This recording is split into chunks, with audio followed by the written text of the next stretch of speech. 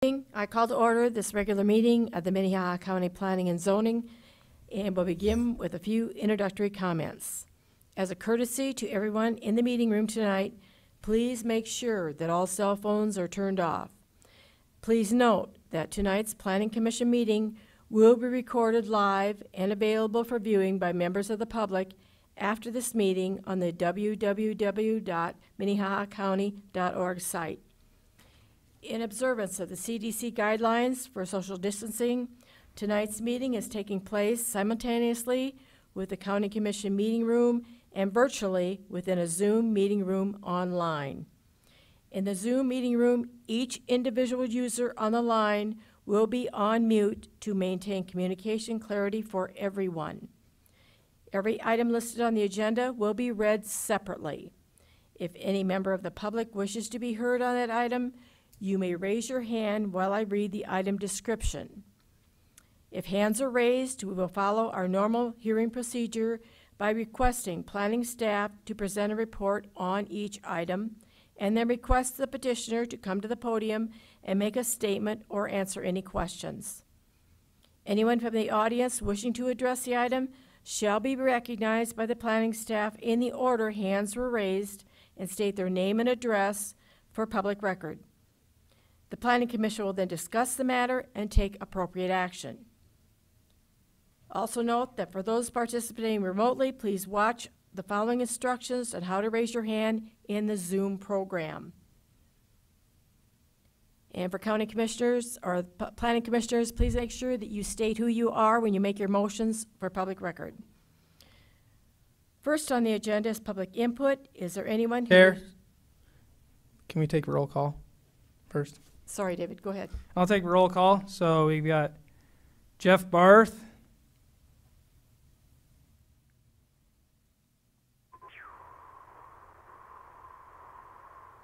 Jeff Barth.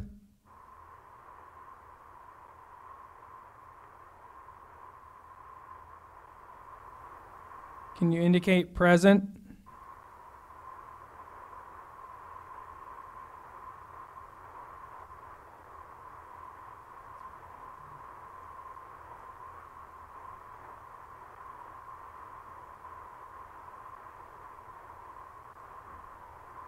Let's circle back. Adam Mohrhauser, Present. Doug Odie, Present. Mike Ralston.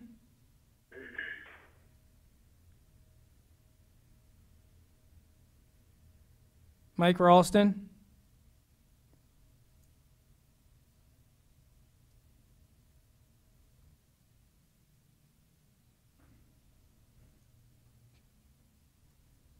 Becky Randall.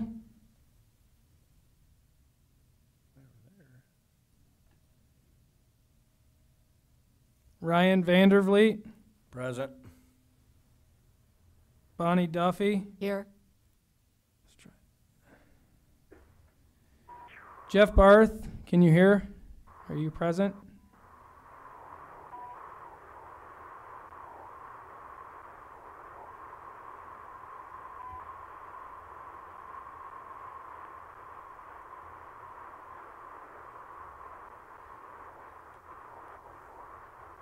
Jeff Barth, are you present?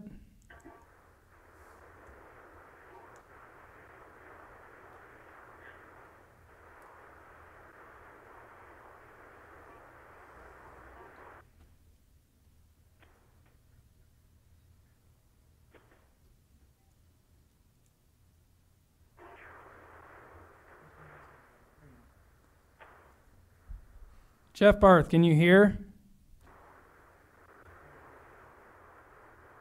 Mike Ralston, can you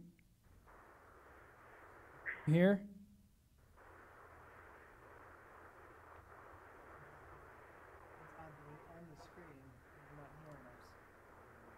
Becky Randall, can you hear us?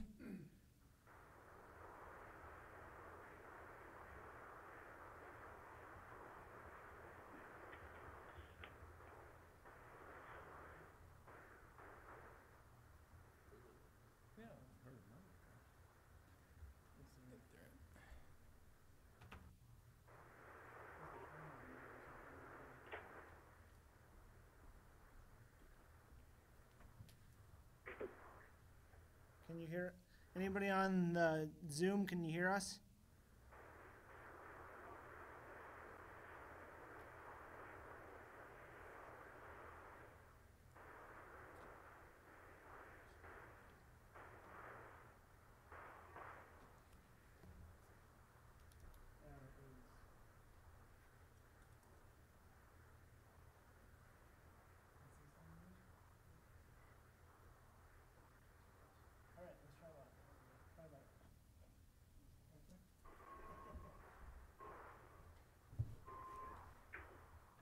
Jeff Barth, can you hear us?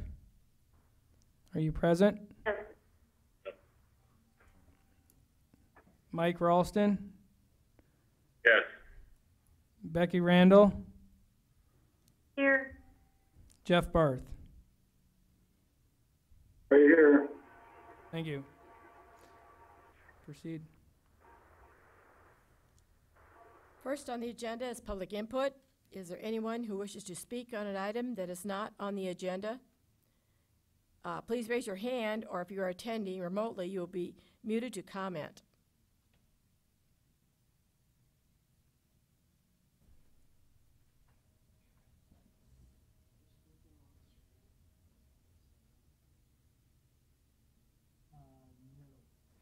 No hands are raised, Chair. Thank you. Item number one on the agenda is the minutes from the May 18th Planning Commission meeting. Is there any comments or changes to the minutes?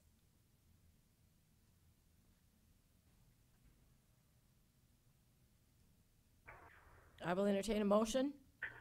Madam Chair, I make a motion to approve the minutes of the May eighteenth meeting. I'll second that. A motion's been made and seconded to approve the minutes of the May 18th, 2020 meeting. Uh, Roll call vote, Jeff Barth, Aye. Adam Mohrhauser, Aye. Doug Odie, Aye. Mike Ralston, Aye. Becky Randall, Aye. Ryan Vandervliet, Aye. Bonnie Duffy, aye. Motion, uh, that, the minutes have been approved. Uh, We'll move on. Items number two, three, and five are conditional use permits, and item number four is an application for a major amendment to a planned development district. Any final action taken on the conditional use permits tonight will take effect five working days following this meeting unless a written appeal of the Planning Commission's decision is filed in the planning office by Monday, June 29th at 5 PM. In the event of an appeal, the decision will be referred to the county commission for a hearing on Tuesday, July 21st, 2020, at or after 9 a.m. The affected parties will be notified of the meeting date, and meetings of the county commission are held in this same room. Action taking on the major amendment will be forwarded to the county commission for a hearing on Tuesday, July 21st, 2020, at or after 9 a.m. Meetings of the county commission are held in this same room. Next, I will start with number two. Um, If anyone wishes to comment on number two, now would be the time to raise your hand.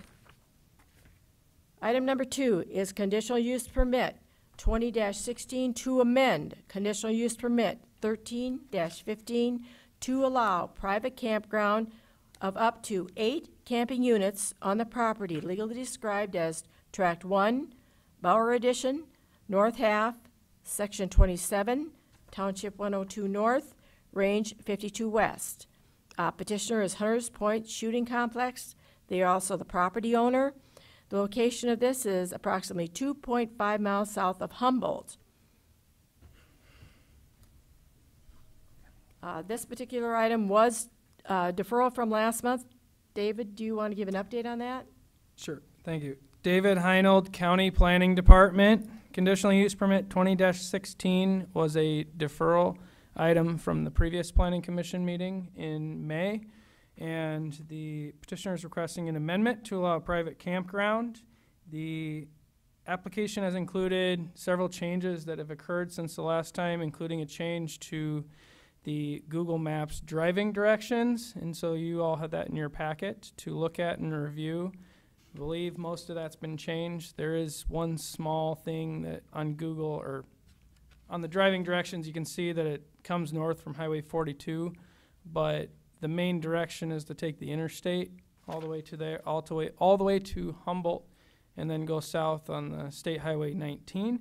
Um, I will stand by for any questions if you have them. Staff recommends approval of conditional use permit twenty sixteen with the changes to allow additional eight, up to eight camping units. I do have some pictures as well if you'd like to see them.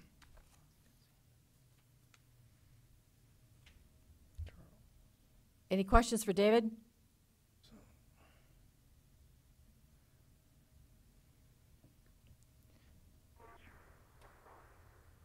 Charles does have his hand raised, but as for the petitioner. Petitioner, will you please come forward, state your name and address? Isaac Chamnus, thirty-nine oh eight South Sertoma, Sioux Falls.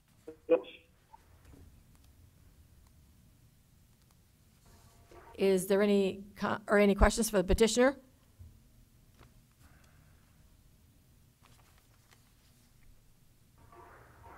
Madam Chair, this is Jeff. Uh, I just hope you see that Mr. Luth has his hand up. I did, Jeff. We'll get to him after um, we have any questions here for the petitioner. Thank you. Yep. No further questions for you unless we have to bring you back up. Yes, ma'am. Thank you. Sir, do you have any comments about this conditional use permit? Are you talking to me, Charles? Yes, sir. Okay, uh, you say that the Google Maps has, has been changed? You got hold of them? I, this is David. I reached out to Google and they changed the dri- driving directions. I Don't think so. Charles? Because there was a person in my yard yesterday, or Friday, showed me the, he held up his phone, showed, showed driving right through my yard again. They didn't change a thing. Miss Chair, Yeah. David? can you ask Mr. Luth to Google state has, name and my, my address driveway is two hundred and sixtieth Street, for the and record? it's not. It's a dead end. So you didn't change a thing. David, did you have a comment? You asked to state his name and address Oh, for the record. Sir, will you please state your name and address? Charles Luth, Humboldt, South Dakota, four five eight three three two hundred and sixtieth Street. Thank you.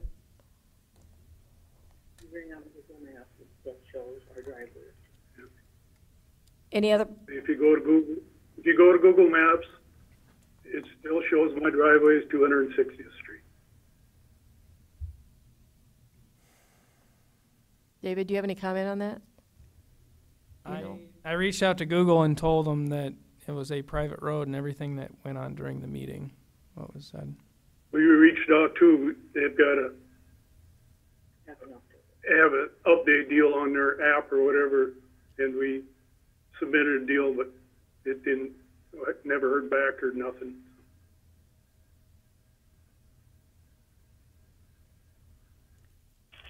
Anyone else? If, Madam Chair, if I may. You know, Well- it- Go ahead. So I, I just, worst scenario, I just tried it on my phone here and it appears as though it's corrected not to drive through your, your driveway, but So It comes up, shows you one, two, three options, and usually my driveway's the third option. Yeah, I'm looking at at two right now. Yeah.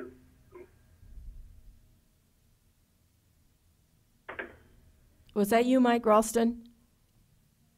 Yes, that's correct. Okay.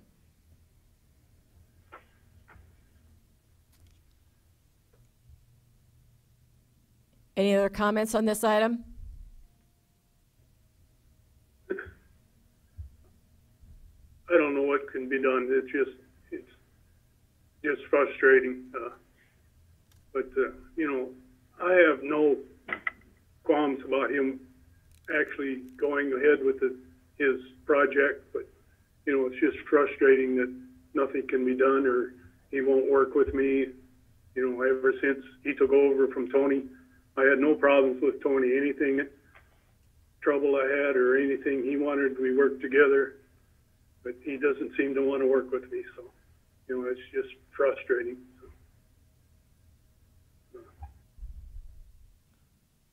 Any further comments? Yes, Madam Chair. Does- Commissioners? uh, di- This is Commissioner Adam Mohrhauser. Uh, did he talk to him about this, what he proposed to the township, I guess, for two sixtieth? Does Charles know about that, Mr. Luth, or not? They're not gonna close the road, that's ridiculous. That's my mail route, that's my fire route. Ambulance route, whatever, you cannot close that road. That is ridiculous. And I can't, I, well, I can't or I will not go the other way, because that's hard, I'd have to change my address. Where my driveway comes out on- on four fifty-nine, that's Hartford mail route. So I'd have to change my address, and I won't do that. I've lived in Humboldt, been in Humboldt all my life.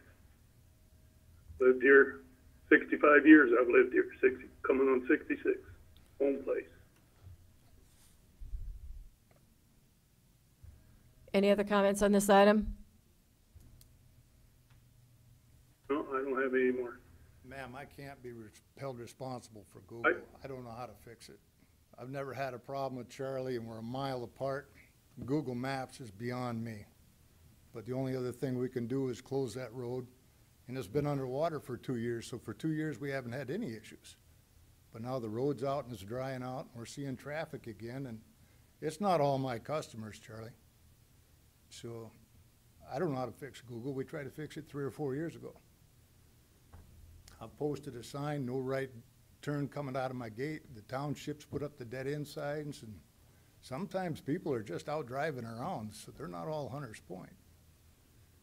But that, uh, Google Maps and people driving around has got nothing to do. I just, we wanted to put in a half a dozen campsite. That really turning into a Google battle now and not a, we started this, we went in for, see if I needed a building permit for a campground, and now we're in a conditional use permit hearing.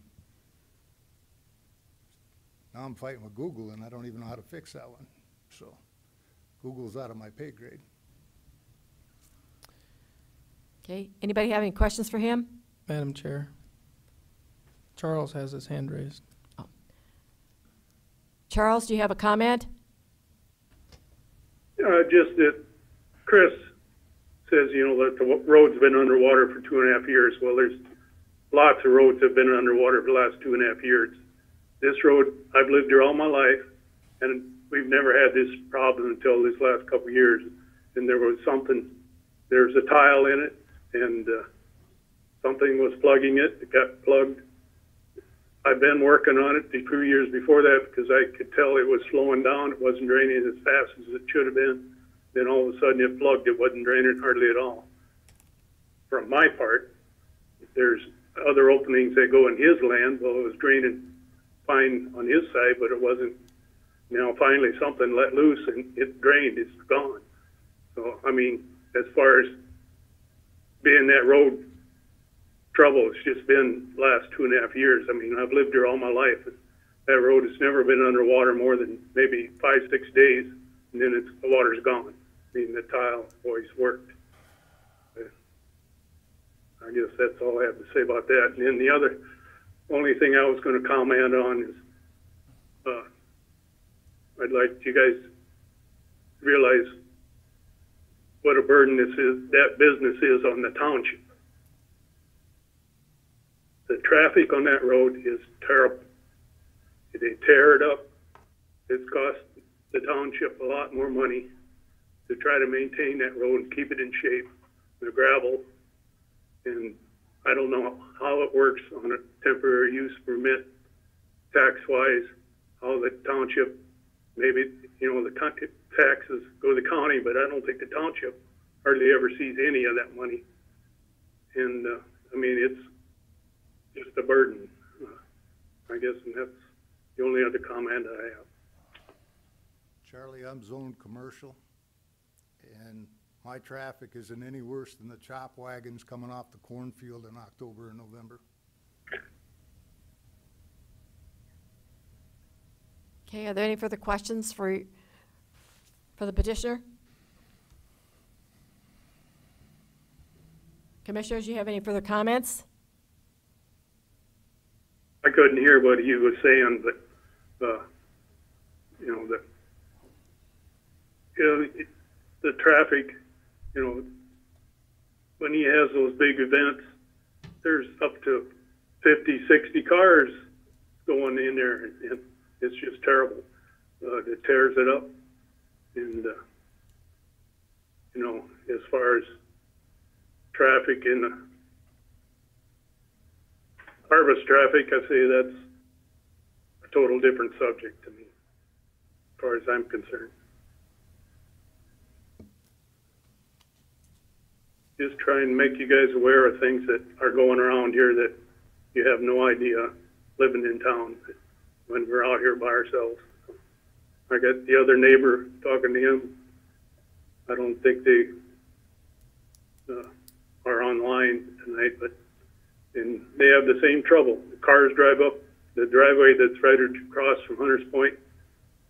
Cars just looky loos, drive up in there and turn around. You know, just people have no respect for other people's property. It seems like. So That has nothing to that's do all I have to say for now, I guess. Thank you. Do you have any further comments, sir? Man, people are people. The people that drive around and dump trash out there and drive away are just people. They've got no bearing on me and my business.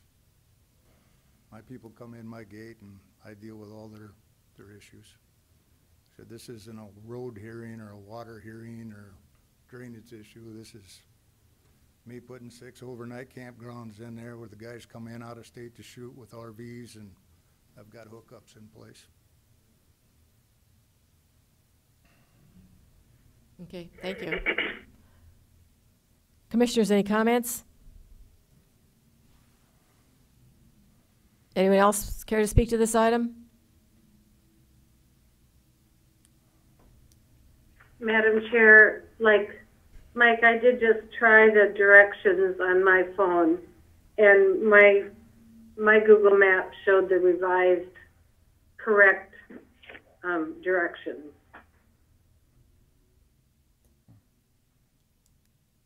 Thank you. Any other comments, commissioners? Madam Chair, this is uh, uh, Jeff Barth here. I think that uh, it certainly, uh, we've had a lot of discussion on this, and I understand the concerns of both sides, but I think we need to act, and I am going to make a motion to approve this project. Do I have a second? Second.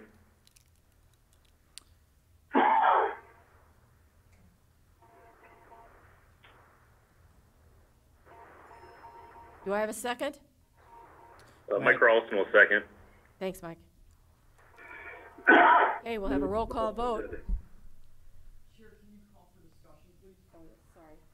Any further discussion?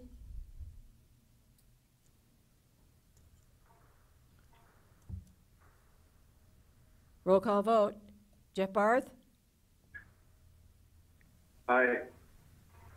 Adam Mohrhauser, Aye. Doug Odie, Aye. Mike Ralston, Aye.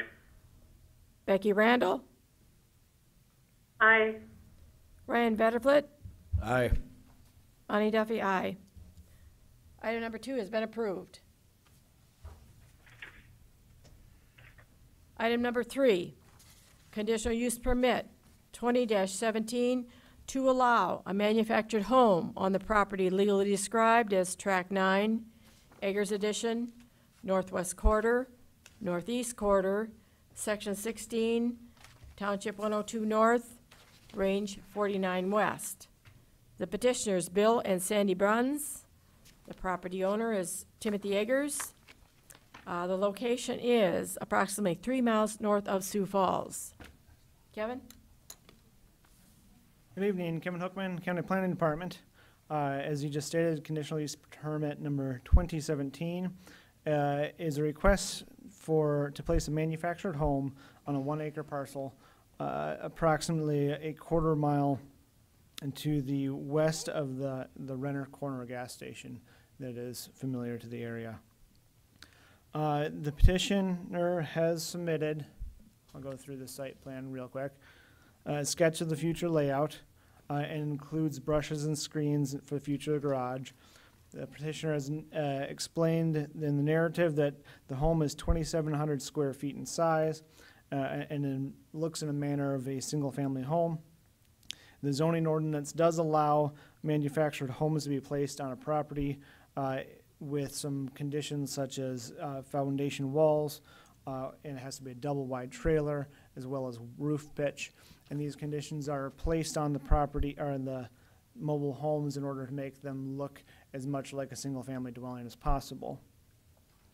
Uh, Since receiving this petition, or this conditional use permit application, uh, the the neighbors have uh, submitted a, uh, a petition with a list of concerns on the property. We'll just co- cover a few of those. Uh, The primary concerns include uh, neighborhood character and property value. Uh, And as previously stated, staff uh, uh, suggests that the, the zoning ordinance takes care of some of the uh, appearance issues with requiring foundation walls and a higher pitched roof. Another concern that was raised in the petition was further residential growth in the area. And the area is zoned, or the lot does have a building eligibility on it, as well as another lot nearby. And there's also just to the, let's see if I can get a mouse. If that's visible, just to the east of the site, there is a large area that is re- residentially zoned. So as far as uh, future residential growth in the area is already ready for that, whether the residential home is placed there or not, or the mobile home is placed there or not.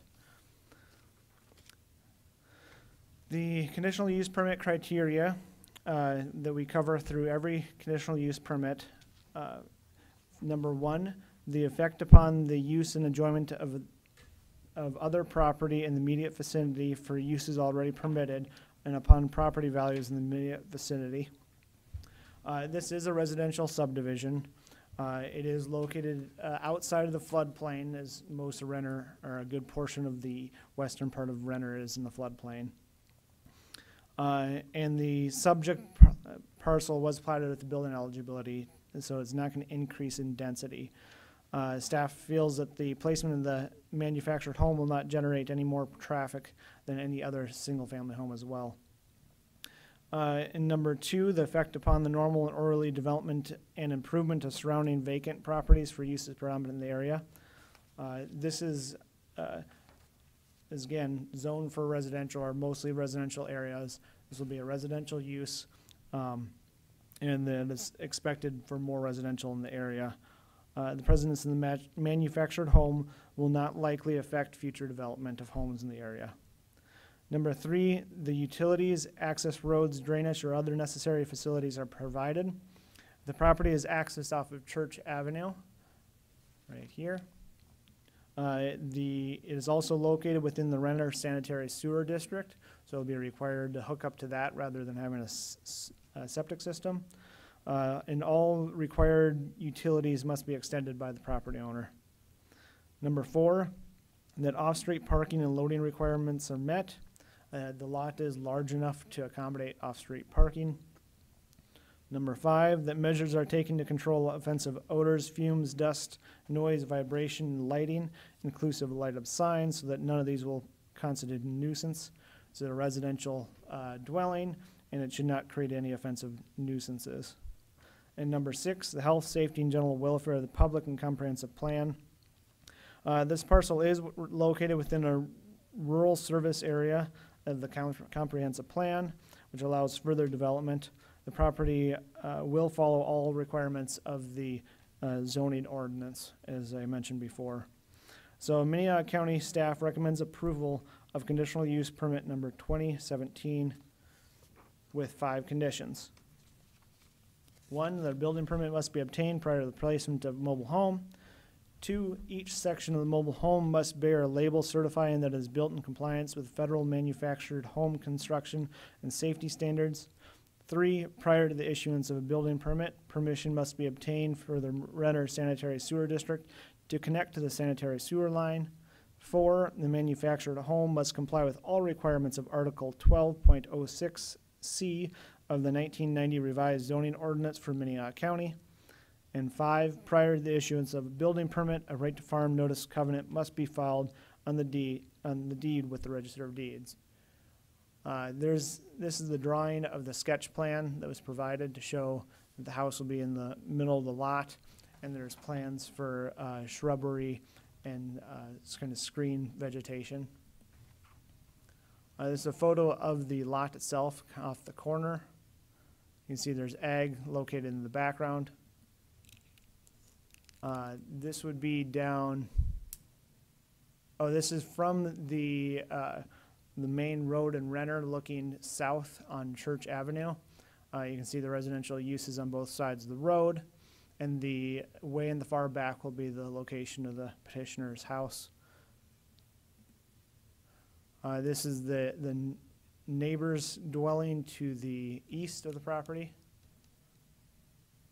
Uh, and this is looking down Church Avenue again towards the church, as well as the neighbor to the north of the property. And then there's another photo of, uh, Church Avenue. Uh, and to give a little bit of a picture of the overall area, this is a pictometry view of the neighborhood. Um, you can see along here, there are, are several smaller lots. Uh, this will actually be one of the larger lots in the neighborhood, uh, right here. There's a, a similar size, another one acre lot located right here that'll also be ready for development, uh, if another buyer comes along. Um, and uh, I put on, the petitioner has submitted several photos. uh, And I put some of these photos in the PowerPoint so she can go through them uh, of the neighborhood. um, Just so that she's aware, we can move through them. Uh, Roof pitch, some of the neighboring houses, to give an idea of the property, and that must be all of them. Um, I gotta get back. Uh, But is there any questions? Madam Chair, I got just a Adam. couple. Um, how many lots do they have ready to be developed on, and how many, or how many are they planning on having there? Uh, This is the only house or the lot that there's planned for ma- manufactured home. Uh, There are two lots that are using building eligibilities that are one acre lots that are ready to be built on. Okay, but how many more in that fifteen acres, though, can they? Uh, that many more fifteen houses? acres, I think with the residential zone in the sanitary sewer district, you can get a quite a few in it. They, they don't, aren't limited to one acre lots with that residential zoning district. See if I can get back to a couple of slides.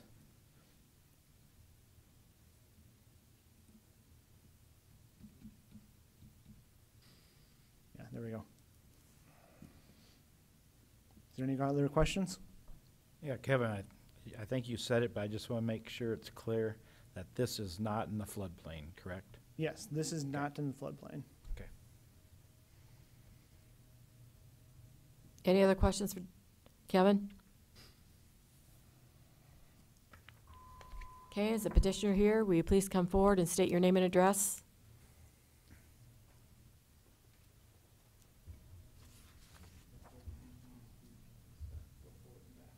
Okay, uh, Sandra Bruns, uh, 25638 475th Avenue, Renner, South Dakota. Bill Bruns, same address. I mean, I don't know what you guys want me to say. Kevin's really done well on his report. As he said, my home is a ranch-style uh, house at 2,700 square feet. It may have a VIN number, but that's really as far as it goes. Um, We have checked all over. Nobody wants to put it into their mobile home because it's too big. The average mobile home that's placed in lots are between 15 and 1,800 square feet. When we look at 2,700 square feet, that's because it's supposed to be a house, or it is a house, built as a house. Um, and we put it here after our last house burnt. Our idea has always been to put it on some land. And, you know, we, we're in that situation now where we can do that. Um, it's built to HUD standards. It does have the little things on that says that. Um, the homes in Renner, and I wrote some things down, so if you'll bear with me, the homes in Renner most of them are the ranch-style box houses. And my home will fit, or our home will fit perfect into that neighborhood very well. It will be on a foundation, just like any other home in that area. And if we were putting it into multi-million dollar home area, then I would understand. But, um, this home, like I say, i- it's gonna look just like any other home. And if you hadn't seen this home with skirting on it, and it had been on a foundation with a garage, you wouldn't be able to tell whether or not it is a manufactured home or a regular home. There's no covenants or HOAs or restrictions for placing the home in this area, area, so therefore, it's only fair that no other restrictions be placed on our home that you wouldn't require of any other home that would be built in that area. Um, It's not gonna devalue or ruin the character of any homes in Renner, I've been assured. Once we get everything situated and the garage on and landscaping and everything, we want it to be a beautiful area. We want it to be park-like. We're gonna do a lot of, um, natural privacy, um, hedges, trees, so that the neighbors won't be bothered. And, you know, I know when people think about a manufactured home, they're still thinking trailer house. You know, my home would be undistinguishable between another home had you not seen it where it's parked now. People all the time come in. I mean, we've had police officers, because we had somebody, something stole, and repair people, and they say, wow, this is really a nice home. I've even shared with Kevin some pictures of that. Um, We've worked really hard to pay off this home, and we paid it off ten years early. Um, We've just put, uh, be, believe about thirteen thousand dollars worth of new windows in it, just to update it, so they're energy efficient. We've put in hardwood floors and new carpeting.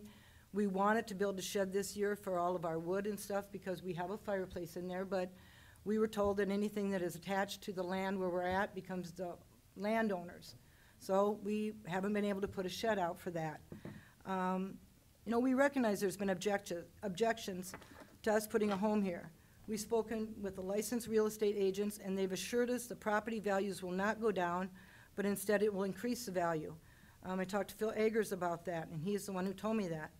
We attempted to visit with the neighbors about this, but they're still thinking trailer house, and my home's not that. Um, my son, who is friends with, um, some people that, with one of their neighbors, I'm sorry, I'm nervous. My son, who is friends with some people who live there, his um, great nephew, we went over and tried to talk to him, and at first they told me, oh, yeah, welcome to the neighborhood, great, glad to have you. Then Kevin called me and said that they had objected. And my son and their their great nephew went over there to talk to him, and there was a a heated discussion, and I actually, I'm thankful that at thirty-seven and thirty-eight, that my kids will listen to me, and I've told them, we're not gonna do that. Um, we're gonna do this the right way, we're gonna be good neighbors, and I asked them to apologize, and it's my understanding that they did.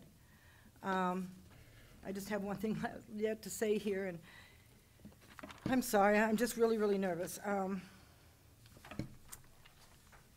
I, I just feel like, you know, this isn't gonna ruin the house, I mean, since there's gonna be no devalue of the homes or damages to the homeowner's properties rights or the neighborhood in general in Renner, then there really is no substantial issue here to address. No sufficient reason to deny this application. Our home will look the same as other homes uh, will in Renner, and I will make sure that there's never any junk cars, garbage, or anything else laying around. I'm really particular, you can ask my son back there, I'm kind of a pain in my husband because I make him work all the time. I do respect the neighbor's rights to object, however, without a direct and pertinent issue that would cause problems, devalue their property, or damage the area, or infringe on their rights. In this matter, I really am asking you to please approve it, because we don't have anywhere else to go. We'll lose our home. And at sixty-one, I'm sorry, guys, I'm just too old to go out and buy a new home or start over. And then we'd have to lose our family home. And I don't mean to get emotional, but this is our home that we're gonna have to sell and get rid of if we can't move it here. And there's really no reason we can't just move our home here and make it a beautiful home. That's all we want to do. Any questions from, any further questions for the petitioner?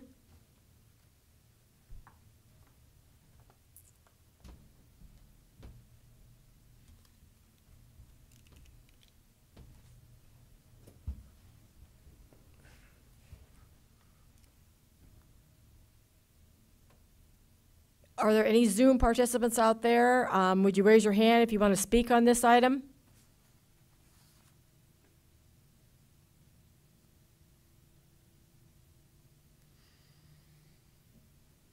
Thank you. We may call you back.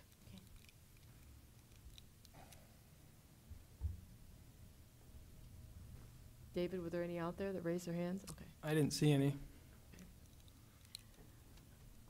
Are there any opponents in the in the room that would care to speak to this item? Please state your name and address.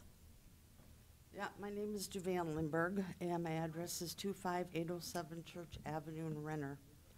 Um, she, she's correct. She did come to my house, um, and we met and we talked. We had a nice visit. And she said that she had bought the land next to us. And then she said that she was going to put a modular home, or I'd take it as a trailer in there.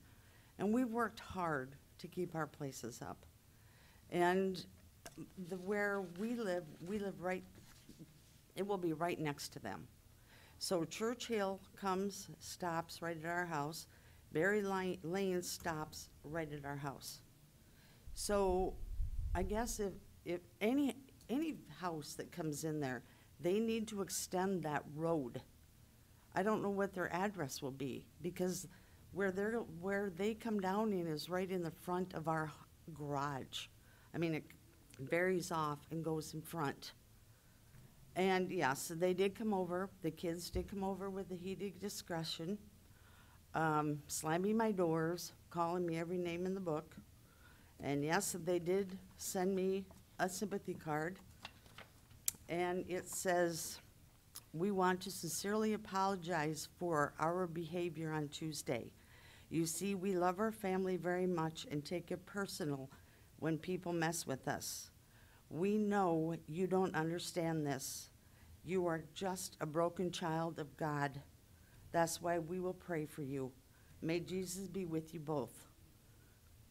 And I, I mean, they were slamming the door so hard and calling us different names, her kids, because the, the petition, none of us want this trailer out there. You know, if we put one trailer there, are we gonna have a trailer park around us? If we start one, the other lots behind us, are they gonna be trailers? I mean, there's one person that wanted to put a trailer in there in seventy-one. They told him no. He could not put a trailer out there, so he had to build a house. And I, I guess we need to extend the road. And they would, I don't have problems with them being neighbors if it would be a house instead of a trailer. That is my only complaint. I, do- I don't want my house, to our house to depreciate, uh, depreciate, and none of us, none of us do. You know, we've, we have our houses, we have our families there too, and my kids, my grandkids, and that's home to us too. So, that's all I have to say right now. But we, they need, to- that road needs to be extended instead of coming down off. And there's room for it. They just need to build it south. So they have an, an, or an address. Because like I said, the road's shut off right in front of our house. So, that's my concern. Thank you. Is there anyone else who would care to speak to this item?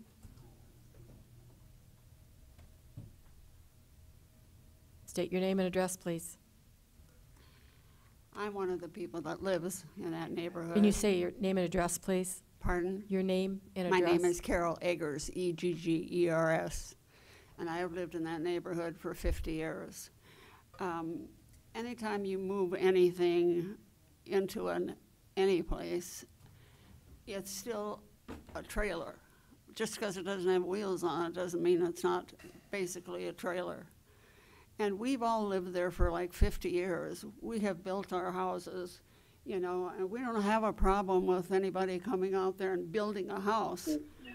But anytime you move something in, it devalues our property because it's still not the same as building a house. So that's the reason that we're really opposing this, you know, anybody that wants to build a house there, we'd welcome them with open arms. But we've all built our houses there and we've lived there for fifty years and we just don't feel that we need, we just don't wanna deal with, uh, with somebody moving something in. Because once you start that, you might be in for some, you can't stop it then. And we all, we'd be happy if somebody wanted to buy that land and build. We'd welcome them with open arms, but not this way. Could you give us your name? You did give me your name, ma'am. Can you give us our- what your address is out there? I'm sorry, I- we're Your hearing you. address? Uh, Where do you live out there? What's your address? My address is 25803 Church Avenue. So,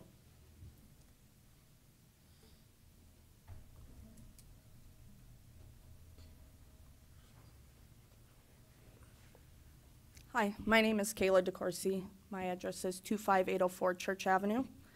And mine concerns are right along the same as everybody else that you've heard um, that is opposing this is the devaluing of our homes. Um, a manufactured home, it is a mobile home, it is a trailer. They're all the same. And we just had a market analysis done on our home, and our realtor did tell us that it would decrease the value of our home if we were to sell our home. Um, so that's our main concern. Our, my second concern is, is if it is allowed, then who's to say the next person's, yes, yours might look very nice, but who's to say that the next person's isn't going to be the same way? And it's just opening up a can of worms, I think, for the whole neighborhood. Um, now, as far as the altercation that took place on that Tuesday at our neighbor's house, the heated conversation, it, um, I was outside when it happened. I was in my garage, and I could hear the profanities, the multiple profanities that were going on, and I stepped out. My daughter came out from in the dining room, in the house, doors closed, windows closed, and she was wondering what was going on because she could hear it.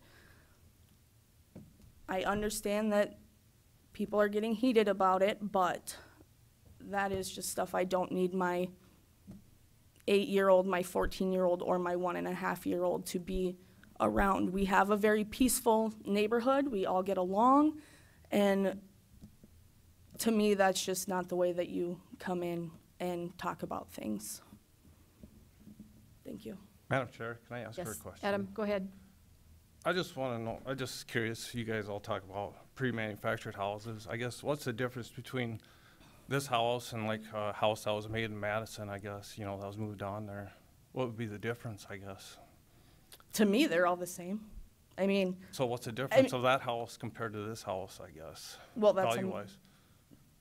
well, to me, those ones really, I haven't really looked into what the ones in Madison are. I mean, I don't have. Pre-manufactured houses, I guess. If you look up the definition of a pre of a manufactured home, it says manufactured home prefabricated. Yes, that's what these are. It also says, also known as a trailer, also known as a trailer house, a mobile home. They're all the same. I wouldn't classify those from, that are pre-manufactured in Madison as trailer homes, so I guess how can you classify this as a trailer home?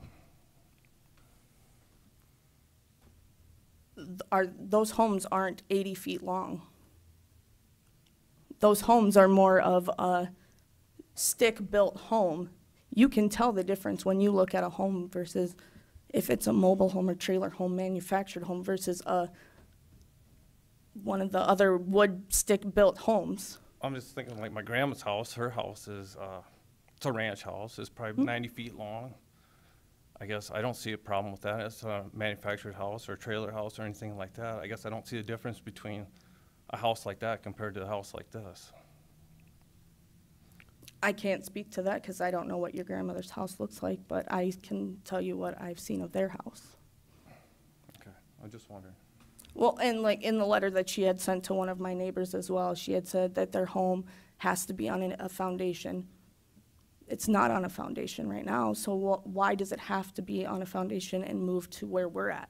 I believe because they're renting it, so why would you put a foundation there if you're renting it? Well, so it doesn't have to be on a foundation. So she can find another place to do it. Well, she, if she buys this, she ha- own it, you can put a foundation Well, on yeah, it, that's, that's fine. If she does own it and she is able to move that in, then that's what she is able to do. Okay. Thank Ma- you. Madam Chair, it's one of the requirements that it has to be on the foundation, ain't it?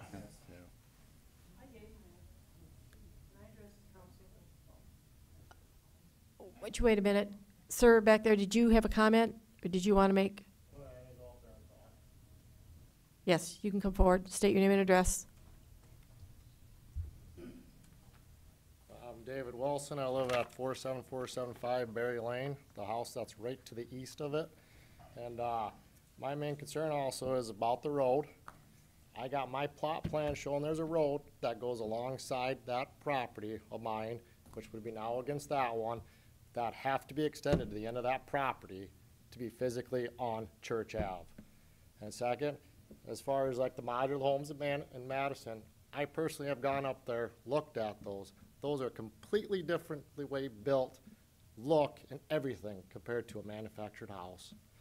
And like my value of my house is gonna go down. I had talked to Dina Becker, a realtor. I have talked to my personal builder that built my house for G and D Har that also sell houses, that it would devalue my house and make it harder to sell my house because it is a manufactured home and they belong in a trailer park. G and D Har owns several trailer parks in Sioux Falls. so- And, uh, I, it just doesn't, not gonna fit in. You got a two hundred and fifty thousand dollar house, you got a three hundred and fifty some thousand dollar house to the north of it, and you're gonna stick a double wide manufactured house right between them. Makes no absolute no sense. And then you're gonna open it up, another trailer house. And then as far as those other lots, that land, that would be behind mine and my neighbor there, those fifteen acres, they have tried to sell it, what, a year or two ago? Unsuccessful. They had offers in it, denied. So I don't foresee any of that getting developed anytime soon. Thank you. Is there anyone on Zoom that cares to speak to this item? Sandy Sorum has her hand raised. Okay, go ahead, tell me your name and address, please. Uh, Sandy Sorum, four seven five one zero, two hundred fifty eighth Street, Renner.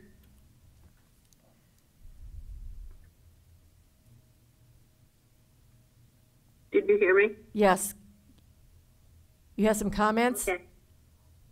Uh, yes, um, they were concerned about, um, the road by, um, house.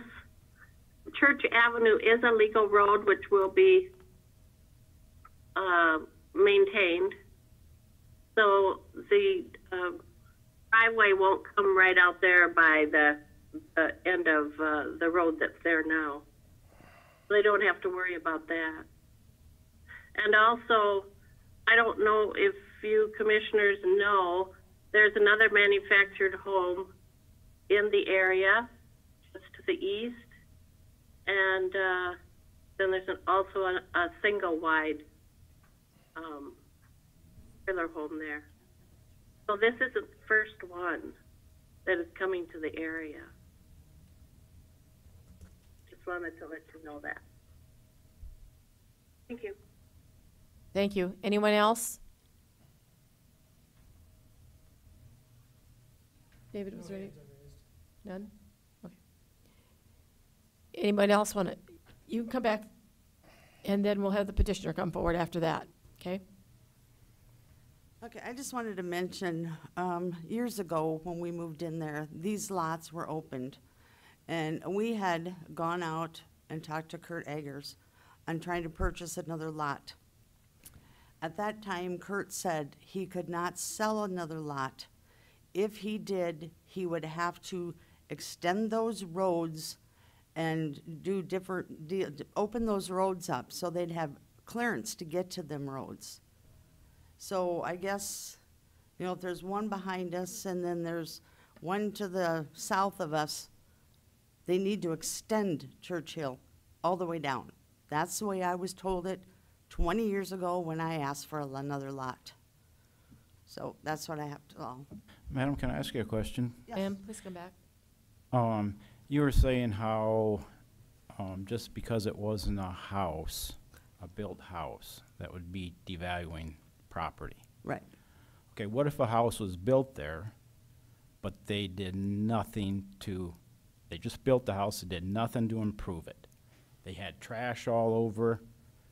Just because it's a house or versus this manufactured home, what guarantees do you have? You could have a neighbor that would buy across the street from you, and what if they didn't take care of their home? Would that devalue your property? Yes, it would. Okay. But it's, it's not a trailer home, and it will not come in on wheels. It'll, they'll maybe take a little more pride in it. And th- what's their address gonna be? Is what I'm gonna, s- what I'm trying to say. That's my main concern, is because the road ends there. So if we knew that, uh, is it Church Avenue or Ju- Churchill Avenue was Church. ext- was extended, you'd be okay with that, that they had an address If that they was? built a house, I don't want our house depreciated. We put, our house values at like 350, 375. And I guess I don't want a trailer home sitting next to our house to depreciate our home. We worked hard for that home. We have paid for our home. You know, we try to take care of it and we update it all the time. We're trying to improve it and you get a trailer home in there. I mean, I, if, if it was a house in there and they didn't take care of it, I would complain about that. Because we don't want our values to go down. Kind of fearing the unknown, right? No, I don't, I, I don't want a trailer home in our place. It will depre- depreciate the value. I don't want anything coming in on wheels. It needs to be a stick home. Bob, Ag- Bob DeGriff tried to put a trailer in there years ago. At that time, the neighborhood all complained about it. He had to build a house. So I don't know why it's any different then than it should be now. And he built, ended up building a house. He was denied the trailer. And that was a double-wide trailer that he had bought and was gonna put in there. And they denied that. Okay, thank you. Okay, sir, would you like to come forward? Please state your name too and your address. Uh, Tony Hewitt, uh, 3309 South First Avenue, Sioux Falls. Um, I just wanted to, come on, so these are my parents. Um, And uh, wasn't quite sure what I was going to say when I came in here today, but, you know, a lot of their concerns, you know, the, the, the road. Like, that's a residential spot, so you can build a house on that. So whether or not Church Avenue has to be extended or not, that's not the land buyer's problem, you know? Um, as far as it turning into a trailer park, my parents have worked really hard over their lives to be able to afford that home. And when they were told that the land that they were renting was going to be sold from underneath them, gathered all their resources and was able to buy an acre of land at $65,000. How many other people do you know that have trailers that can afford a $65,000 acre of land? So as far as it turning into some kind of trailer park, how is that going to happen? Um, these are good people, you know. My dad's a veteran of the Marines. My mom worked in healthcare. Like, their place is kept up. They have fences and, and trees that they planted. I just bought three willow, delivered three willow trees last year out there that they were planting, and now we're gonna stay there because the land got, you know, sold from underneath them. But uh, the, the, the concerns that these people have, which, uh, again, are valid, and I, I understand where they're coming from, but it's, it's not really concerns. Um, they'll, they'll keep up the land. They, my mom takes a lot of pride, my, my dad takes a lot of pride in their home. Um, they're constantly updating it, putting new windows in it. I laid a hardwood floor just last year in it. Um, this is just a home, and it's, it's their home. And they're doing everything in their power to, to keep their home and to do it the right way. And I, I'm, I'm not ashamed, but I'm just a little disappointed in the people of Renner. Uh, they've lived out there for 20 years, and they've been part of that community, and they, they, they go to the local places, they eat at the local places, shop at the local places out there. And to have this kind of uproar uh, about, what's going on just really disappointed me in the people of Renner. Um, but that's all I have to say. So, thank you. Thank you.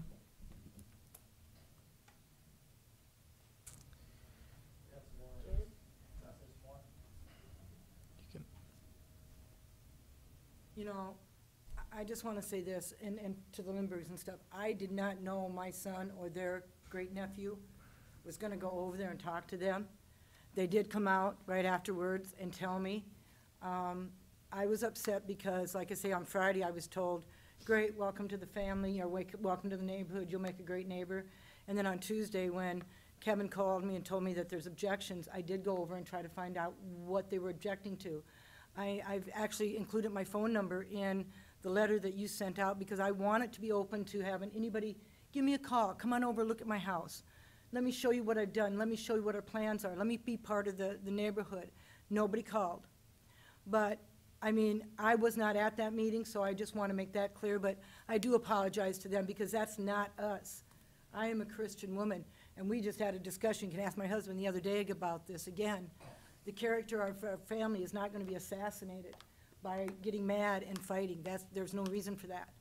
And so there will not be any hostile, there won't be swearing, there won't be fights. Um, I won't tolerate that in my home. And you can trust me, you can ask him, my son, I will kick any one of my four sons' butt, because I've had to do it in the past. You raise four boys, you have to kind of get tough, especially when you live with a Marine. So I just want to let you know that, that I will not tolerate any kind of hassling of the neighbors. We want to be good neighbors. But if they don't want us there, well, we're still going to move there. We're going to make a beautiful place. We're going to put lilac bushes real tall so they don't have to see us. And it is not going to drop down the value. Otherwise, I'd have to call Phil Eggers a liar, and I'm not going to do that. He told me the value would go up. So that's all I wanted to say. Thank you.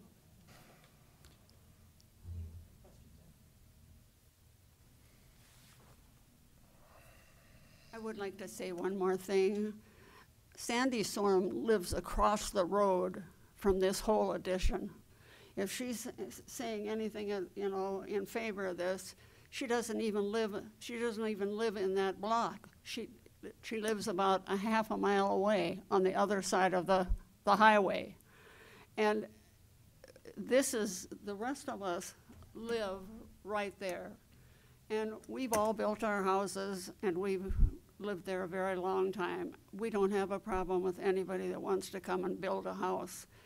But it doesn't do our, it, it, it, any, insurance agent will tell you that it doesn't, it's not the same thing as moving something in.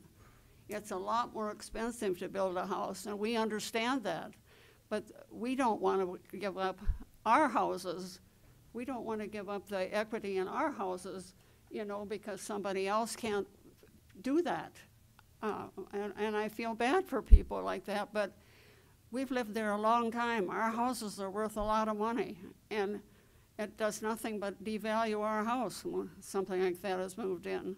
And like I said, Sandy's son lives across the road. She doesn't even live in that block. She doesn't even live in, in Renner itself. She lives across the road. So, I just so I tell you that. Thank you. Sir, do you have something new to add? Yes, I do. Okay. Far like just Sandy Sorum, the, the fifteen acres that'd be behind me is owned by Charlotte Sorum. Sandy Sorum doesn't even own a single piece of property within five hundred feet of that property. And as far as a manufactured home, like what they have, I have previously dug foundations for those in Sioux Falls on Marion and Maple that was specifically for developments for what they have to put on foundations and found walls, not out in the country with neighbors. I think that was it, if I remember right. I think that's all I Okay. had. Sandy Sorum has her hand raised. You want to, you have any comment? Couldn't hear what that gentleman said. What did he say? You mean the last gentleman that was up? Yes, yes. Well, he, he just indicated that you really didn't own any land there. You don't? I do. This is my land and my brothers and sisters. So I'm just trying to explain people are having a concern about the road, the church avenue goes all the way down to the Berry land, clear to the south. Nobody has to worry about an address being changed or anything. It'll be Church Avenue. As far as me not living in the area, I live across the road, but yes, I had a trailer in my backyard for years. And I never said one thing. So if anybody's going to say, just because I live across the road, I don't know what you guys are talking about, I do. And also, as I stated before, there are two other manufactured homes in the area. How did they get there?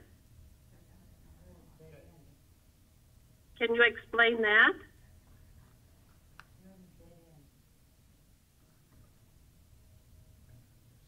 Is that all you have to say, ma'am? That's it. Okay. One more time. You need to speak into the microphone because they cannot hear you. Sandy Sorum doesn't own any land in there. They own, what is it, the Renner Corner, and then they live on the east side of, uh, Cliff Ave right there. From where they live, they don't physically live within, or own any property within five hundred feet of these two properties. Uh, whatever Cody owns, last name Cody owns the land that'd be adjacent to these two properties for sale. And then it was Charlotte Sorum that owns the other stuff that'd be anywhere close that people don't live in houses already. That's within the five hundred feet of these two houses. To clarify that, anything that Sandy Sorum should be taken out because she doesn't physically own anything within the five hundred feet. And as far as those other two trailer house mobile homes, are they actually within the five hundred feet of these two properties to even classify them into any of this meeting here?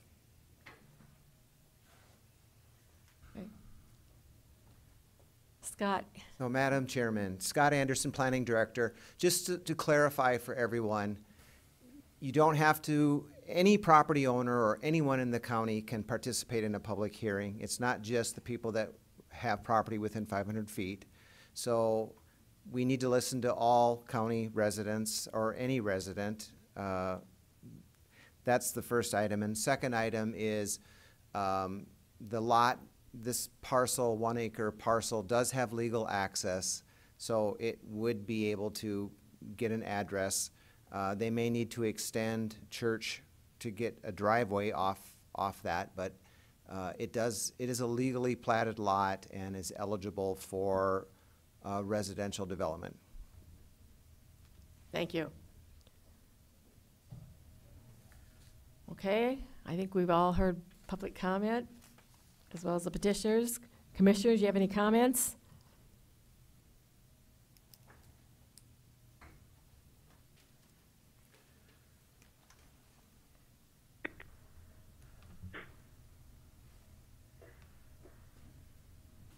Madam Chair. uh, Ryan? Commissioner Madam Chair, Vandervliet. this is- this is Jeff uh, Bedlin. Go ahead, Ryan. When are you calling on, ma'am? Ryan just started, and then you, Jeff, I think that's you, you chimed in. Go ahead, Ryan. Madam Chair, I was just gonna say that I live just, I live out in the country and I live just down the road from one of these homes they're trying to do. It's on a foundation, looks very nice, they've done really well with it. So I just wanted to make that comment. Thank you. Jeff, did you have a comment? I, Madam Chair, I'm just uh, hoping to hear some more discussion from other commissioners. Adam, you have any comments? Yeah, I know this area very well. And like you said, he paid sixty-five thousand for this lot.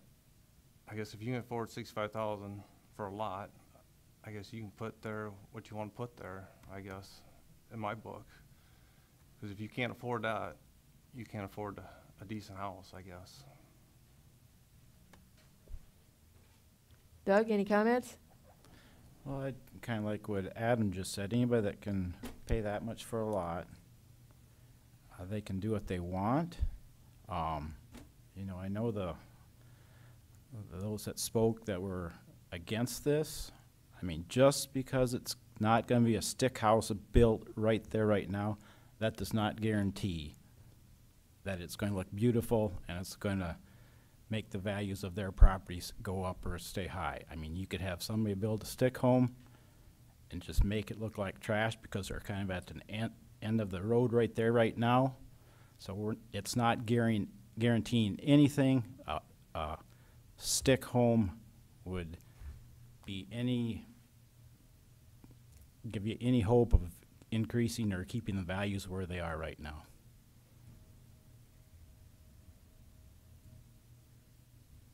Mike Ralston, you have any comments? You know, I guess I may be a little more on the fence than uh, on this one. Um, you know, I, I recognize and applaud them. Like you know, we pointed out that they spent sixty-five thousand on a lot. Um, that is that is quite the accomplishment. Um, I don't think that automatically gives you the right to do whatever you want with it, but um, at the same point, though, I think that you know a nice point has been made as well. Um, that just a stick home does not guarantee that the the owner or occupant would maintain to the same level that um, these people would either. So I, I- I guess I don't I don't have my mind made up quite yet. Becky Randall, do you have any comments? And with Mike, um, I appreciate all the comments and all the discussion. Um, it just makes me, I don't know if I want to say happy, but I'm just glad to hear all the discussion about it. I understand the neighbors' concerns, but I also see the pictures. I know other people who have, um, mobile homes or pre-manufactured homes, and they look very nice and well maintained. They they can be just as nice as a regular home. Um, so I'm a little bit on the fence. I think the fact that it's a one acre lot is an advantage because it can be set back a little ways, and on the drawing it looks like it would be set back. And with good trees and screening, um, I think it could be a very, a very nice looking, a very nice looking home, especially with that amount of land. It's not going to be right down, right next to someone else's property. So I think that, that's a plus. Jeff, have you had enough comments?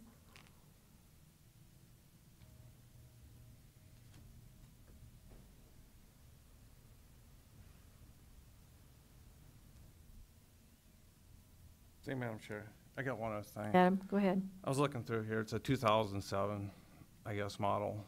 Uh, It's thirteen years old. I guess you look at some of their houses, I know where they're talking about, they got some new houses, but I think some of them older hou- houses in there are probably twenty-plus years old, I guess, or probably even thirty-plus, forty, I don't know. I guess you get a newer house in there, I guess, I don't see property value all that bad, being, you know, losing too much value out of property values, I guess, out of it. It's not like it's a fifty-year-old home you're bringing in there, mobile home. Okay. Jeff, are you on? Jeff Barth? Yeah. I'm here at Renner for a few hours recently, and uh, I know that some of the stick-built homes, uh, not the ones in the that I see on the uh, pictures.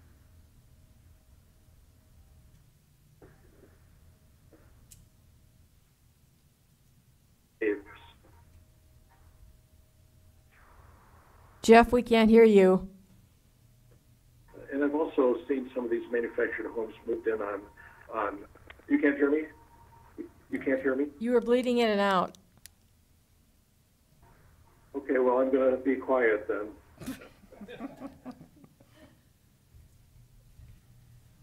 Just turn off your camera. That'll save some bandwidth.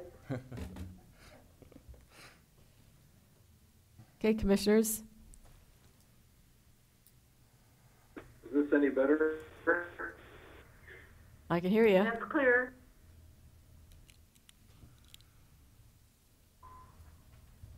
Jeff, do you have any further comments to make?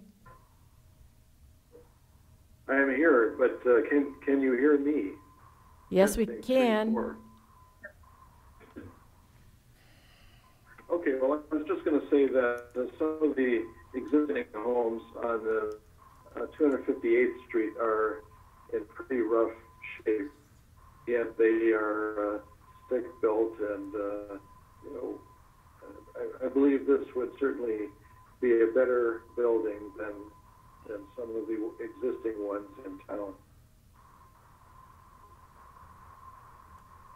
That's my comment. Thank you.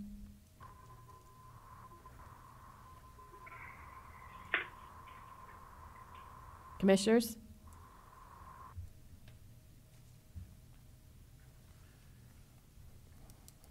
I guess that being said, I'd make a motion to approve item three. I'll second that motion.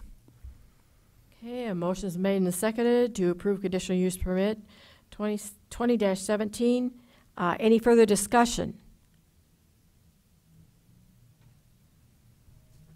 Okay, roll call vote.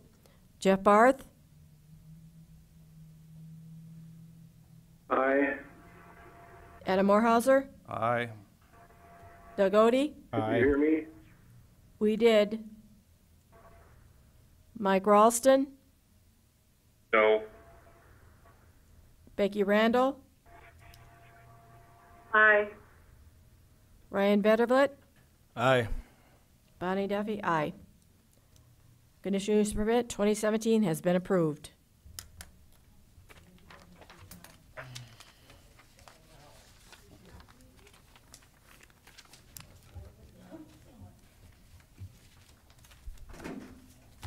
Item number four, major amendment 20-02 to amend the sub-area map for the Cedar Ridge PD Plan Development District to add six single-family lots to the sub-area A from the existing sub-area C on the property legally described as Tract One and Two, Anson Addition, including Cedar Ridge Addition, North Half, Southwest Quarter, Section Three, Township one oh three North, Range forty-nine West. The petitioner is Eric Willitson.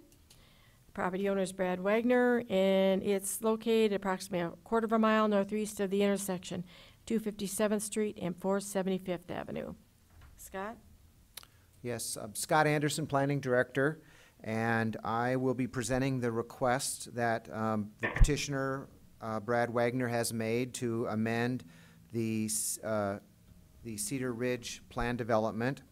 You may recall that approximately four years ago, um, in 2016, the County Commission approved the Cedar Ridge Plan Development. And just to give you a recap of that plan development, the, the sub-areas, there are three of them. There's a sub-area A, which is the residential component, which allowed for up to sixteen residential lots. There was sub-area B, which was the stable area and, and larger pasture area. And that also, let's see, sub-area B also allowed for, there was an existing single-family residence that the petitioner, the Wagners, lived in, and that also was allowed in that sub-area B. And then sub-area C allowed for two more additional single-family residences, some ag uses, and a recreational facility. So, uh, and this all is occurring on eighty acres. So, uh, and you can see in the, uh, uh, the information that was also submitted to you, they have started to develop, uh, the sub-areas and are constructing homes. The applicant is now requesting the, so the, the amendment that they're proposing is really twofold. The, the first request is to add six more residential lots. And secondly, uh, they are asking to change the regulations to allow, um, accessory structures like garages and sheds that could exceed twelve hundred square feet, which would bring it into similar or into the same requirements that the zoning ordinance allows. You may, you may recall that in the past four years, we amended our zoning ordinance. We- Everything used to be twelve hundred square feet, and then that was changed. And they want to just be able to go to what is uh, currently allowed, which would be the twenty-four hundred square feet. So I did, um, did a, I conducted a site visit on June eighth, and there are six residences that are already constructed, and it appears that lots are being prepared for, um, other homes to be built on. A portion of both Cedar Ridge Place and Pony Meadows Court has been constructed and hard surfaced, and the stable is continuing to operate in sub-area B.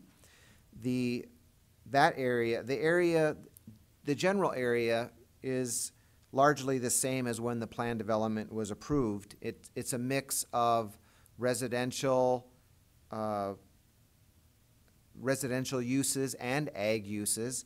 You, you'll note on the, you can see from the air photo, air, aerial photography, eh, the, on the screen, that the area to the north is, um, a mobile home park, which is purportedly in the process of being redeveloped.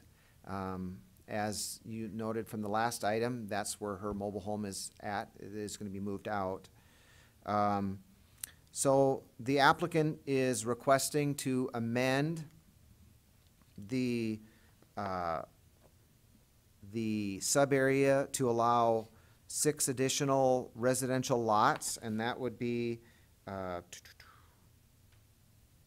in, um, let me look here. The request is in sub-area A to allow six additional lots, and then as I indicated, uh, to change the, the regulations to allow structures, accessory structures up to twenty-four hundred square feet. Um, Staff doesn't have any issues with allowing the, the structures, the larger structures. The residents of the Cedar Ridge Plan Development should have the same rights to the same size accessory structures as, as other residents in the county. So we are recommending, or staff's recommending approval of that portion of the request. However, in regard to the request for six additional lots, um, I, this applicant has not provided, in my opinion, a compelling reason why to, why the density should be increased by a- approximately thirty-five percent or slightly larger than thirty-five percent. Uh, and this is a significant increase in the proposed density.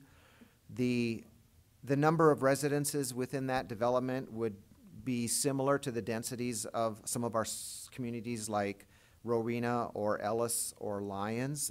So there are- a considerable number of houses there.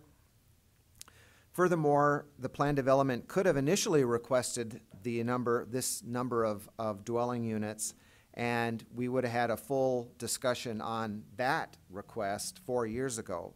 And it appears to me that the the applicant is now, um, bringing in a request simply to increase the density and enlarge the, the, the plan development. Um, Furthermore, there, as I indicated, and I'll show you pictures, there are already six lots that have been constructed on with homes on them. And I have concerns that, uh, those people that, uh, bought those house, bought those lots and or have already constructed their homes may have done so with the idea that there was gonna be a larger open area or more open space. And that is now changing with the proposal that is in front of you by the applicant to increase the lots by six lots. So staff is recommending approval of the request to change the wording to allow larger accessory structures. However, uh, we are recommending denial of, our staff's recommending denial of the amendment to allow the six additional residential units in sub-area A. And I have a couple pictures I can show you. So on the screen right now, you can see the, um, if you, the development is shown in red, and you can see the existing lots. You can see the stable and the homes that have already constructed. You can see the six homes that are already constructed. This shows you the sub-areas, uh, A, B, and C. Um, A being the residential area, sub-area B being the stable area, and then sub-area C is the, another ag area, basically, or so the applicant's request is to allow six additional lots along um, Cedar Ridge Place right here. And the applicants live right here, and that's one of the houses that was allowed in that sub-area. So if, if I go back, uh, I'm, I'm standing basically right here and looking to the north when we look at This is the area, so there's an existing shelter belt to the south. This is the existing driveway to the applicant's house, which would be uh, ultimately, um, Cedar, uh, the road, uh, which, Cedar Ridge Place. Those were the, where the lots go. This is looking, uh, west down Cedar Ridge Place at the, the existing homes that are there. This is the stable. This is on um, Meadow Court, and it's two of the, two of the new homes that have already been constructed. And this is another one of the homes that's been constructed. And this just shows you some of the, um, the horses that were in the larger area, the common area, or the ag area.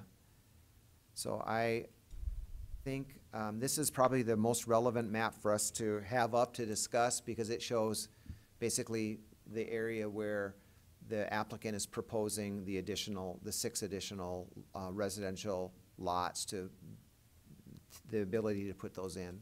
So I'd be glad to answer any questions that you have at this time.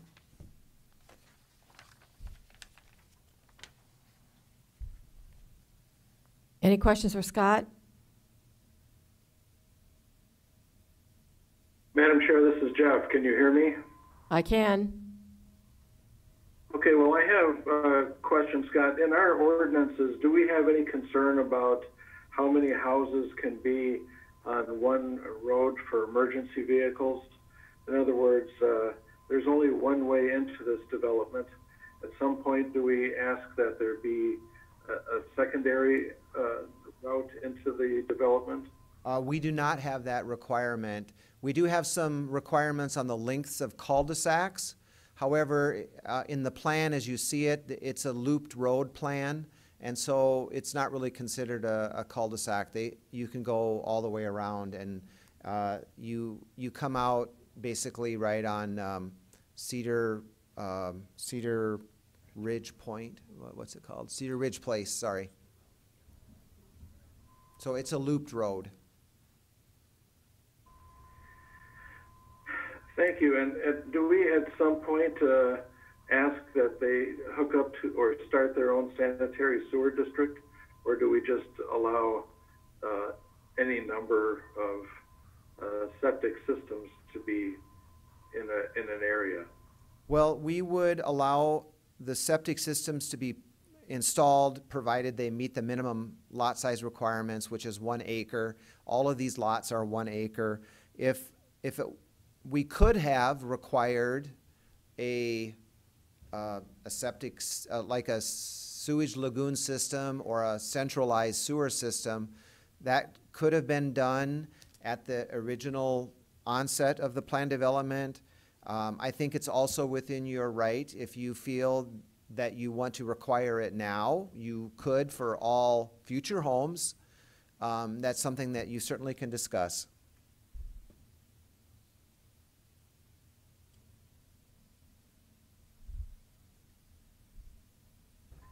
Thank you. That's it. Okay. Any other questions for Scott? Okay. Petitioner here, please come forward, state your name and address. Hi, everyone. Uh, my is Dave Edwards. I'm, I'm a lawyer in Sioux Falls with Hagen, Wilka, Archer. And I had been helping with- with the Wagners with their covenants and things like that. So they helped, they had me come in and try to organize some of their thoughts on this process. Uh, My address is 5700 South Frontier Trail in Sioux Falls, if that's relevant at all. Uh, I'll speak just for about five minutes or so about the Wagners and about the development and how it started. Uh, Scott's already touched on some of the things that I already had in my notes, so hopefully I won't uh, redo what Scott has already um, correctly said about uh, most of this project. Uh, I've known Brad and Laura Wagner for about 25 years now. Uh, I did help them with the covenants. Uh, there is an HOA now on this development that has been doing really well. Laura Wagner is here tonight. She's in the horse business. She's been in the horse business for 40 years. She owns the, she and Brad own the stable and the pasture that Scott mentioned. And that stable and pasture uh, does sort of the show horses and the leisure horses, and there are some retired horses in that uh, stable and the pasture as well. There's no activity like breeding and breaking in young horses and things like that. Uh, The Wagners are very active in the Renner community. Uh, Some of the folks that we saw earlier on the item before, they knew who they were. Uh, The Wagners go to the Mapleton Township um, meetings. Uh, They were heading up the Renner Days fundraiser for the fire department, and they do other things around with charitable causes in Renner.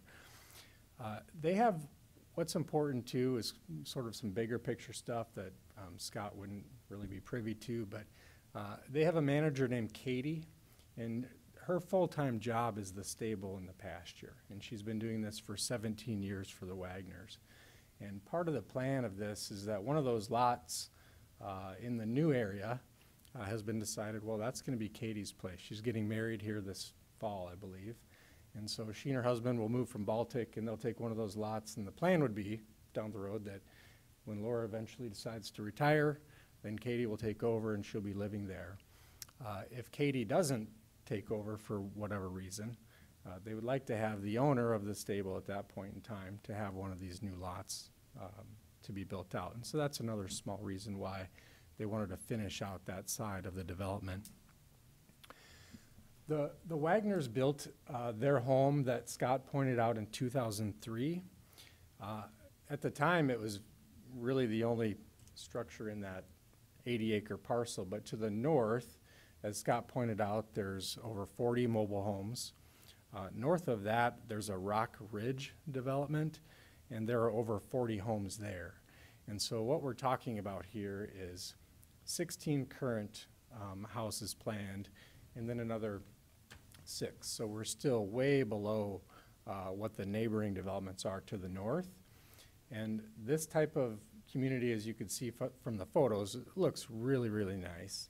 But it's also part of the plan that Renner is the, a part of the comprehensive plan and in that corridor that this is where the development would occur.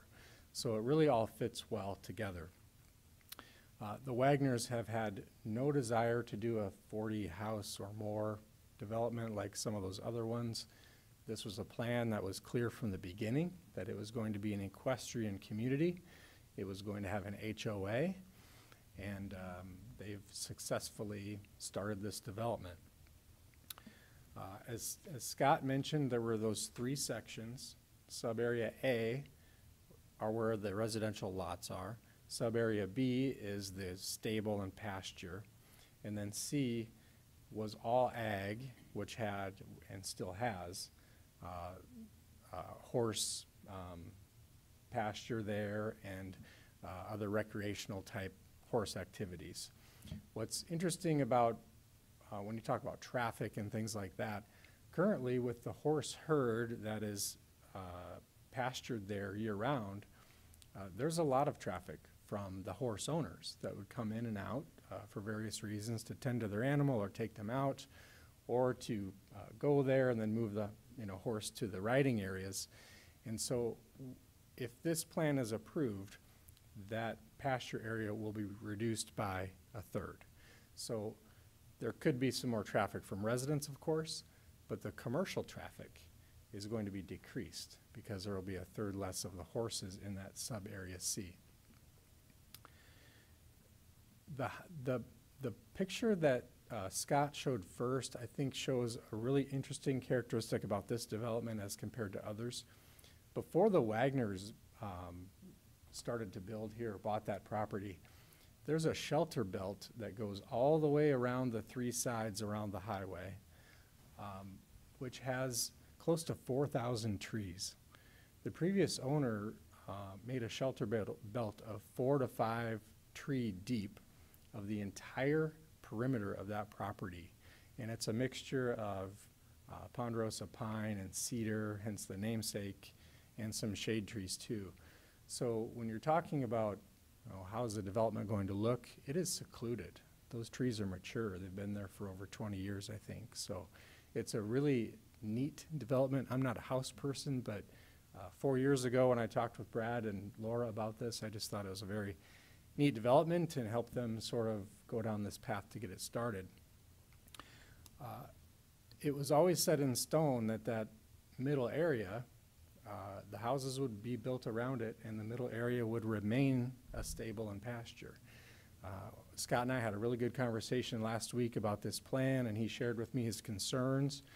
And he, he mentioned that, well, what if in the future Brad and Laura think, well, the horse business is no longer for us?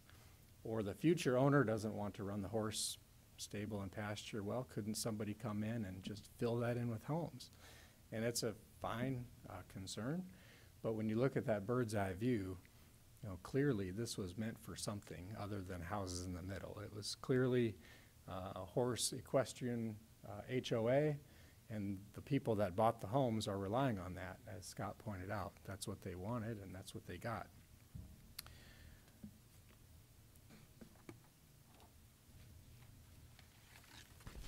The HOA was started four years ago, uh, when this was, um, start, uh, when it was approved to begin with.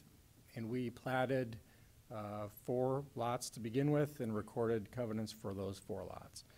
In twenty eighteen, uh, there were eight lots platted, and then we recorded eight, we recorded covenants for those new eight lots, which are all the same, uh, mine, you know, except maybe a detail or two.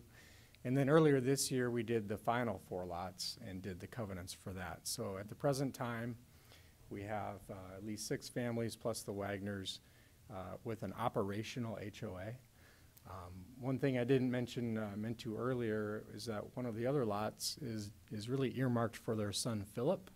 He's also active in the um, equestrian type community and he's on the HOA board. So uh, Some of these lots are already sort of spoken for, and we know what's going to be happening. So concerns of uh, who's going to be there, or is it really going to maintain the character, that certainly helps there. The Wagners have had no issues or objections or delays in completing the roads that were needed to be done, and all of the additional fencing and other controls that were required. And so, uh, so far, this has gone off without a hitch. So the proposed amendment, as you could see from the pictures, is, when I look at it, it's really to finish that side. You know, it really looks incomplete. There, you know, with the first sixteen lots, it doesn't connect the whole perimeter. It really connects only about two-thirds of it or a half of it. So it was not part of the original plan, as Scott uh, pointed out, but when you look at the planning and how it's been going, uh, it, it's a natural direction to go, just to finish off that south side. And now you've got that perimeter in a more continuity, um, you know, design. The Wagners are comfortable with the time it might take to sell these lots uh, in this economy. They've got a few lots for sale now. Uh, That's not really a concern, but they would like to get going on it. Um, One of the things that Scott mentioned too is, uh, on the phone the other day, is that in Rapid City, when he worked out there, there was a, there was an equestrian center, uh, HOA that was proposed and it, it failed. And so we've discussed that, and I think we discussed that four years ago too, which is valid. But we've already been shown, uh, that this one is not failing. It's a, it's a really neat development and the folks there are happy. Um, let's see, I had one more. Well, if I, if I forgot my note, I'll come back to it later, but that's really my, my overall, oh, I know what I was going to say about the loop of the road. I'll let Eric Willardson talk about how that matters, because currently it is not a looped road and it would not be a looped road. So with the engineering of having a, a road and a, and a complete track, uh, that helps with some of the concerns you raised about fire and um, school buses and sewer, and I'll let Eric visit about that. So with that, I'll turn it over to Eric, and uh, then we'll have more discussion.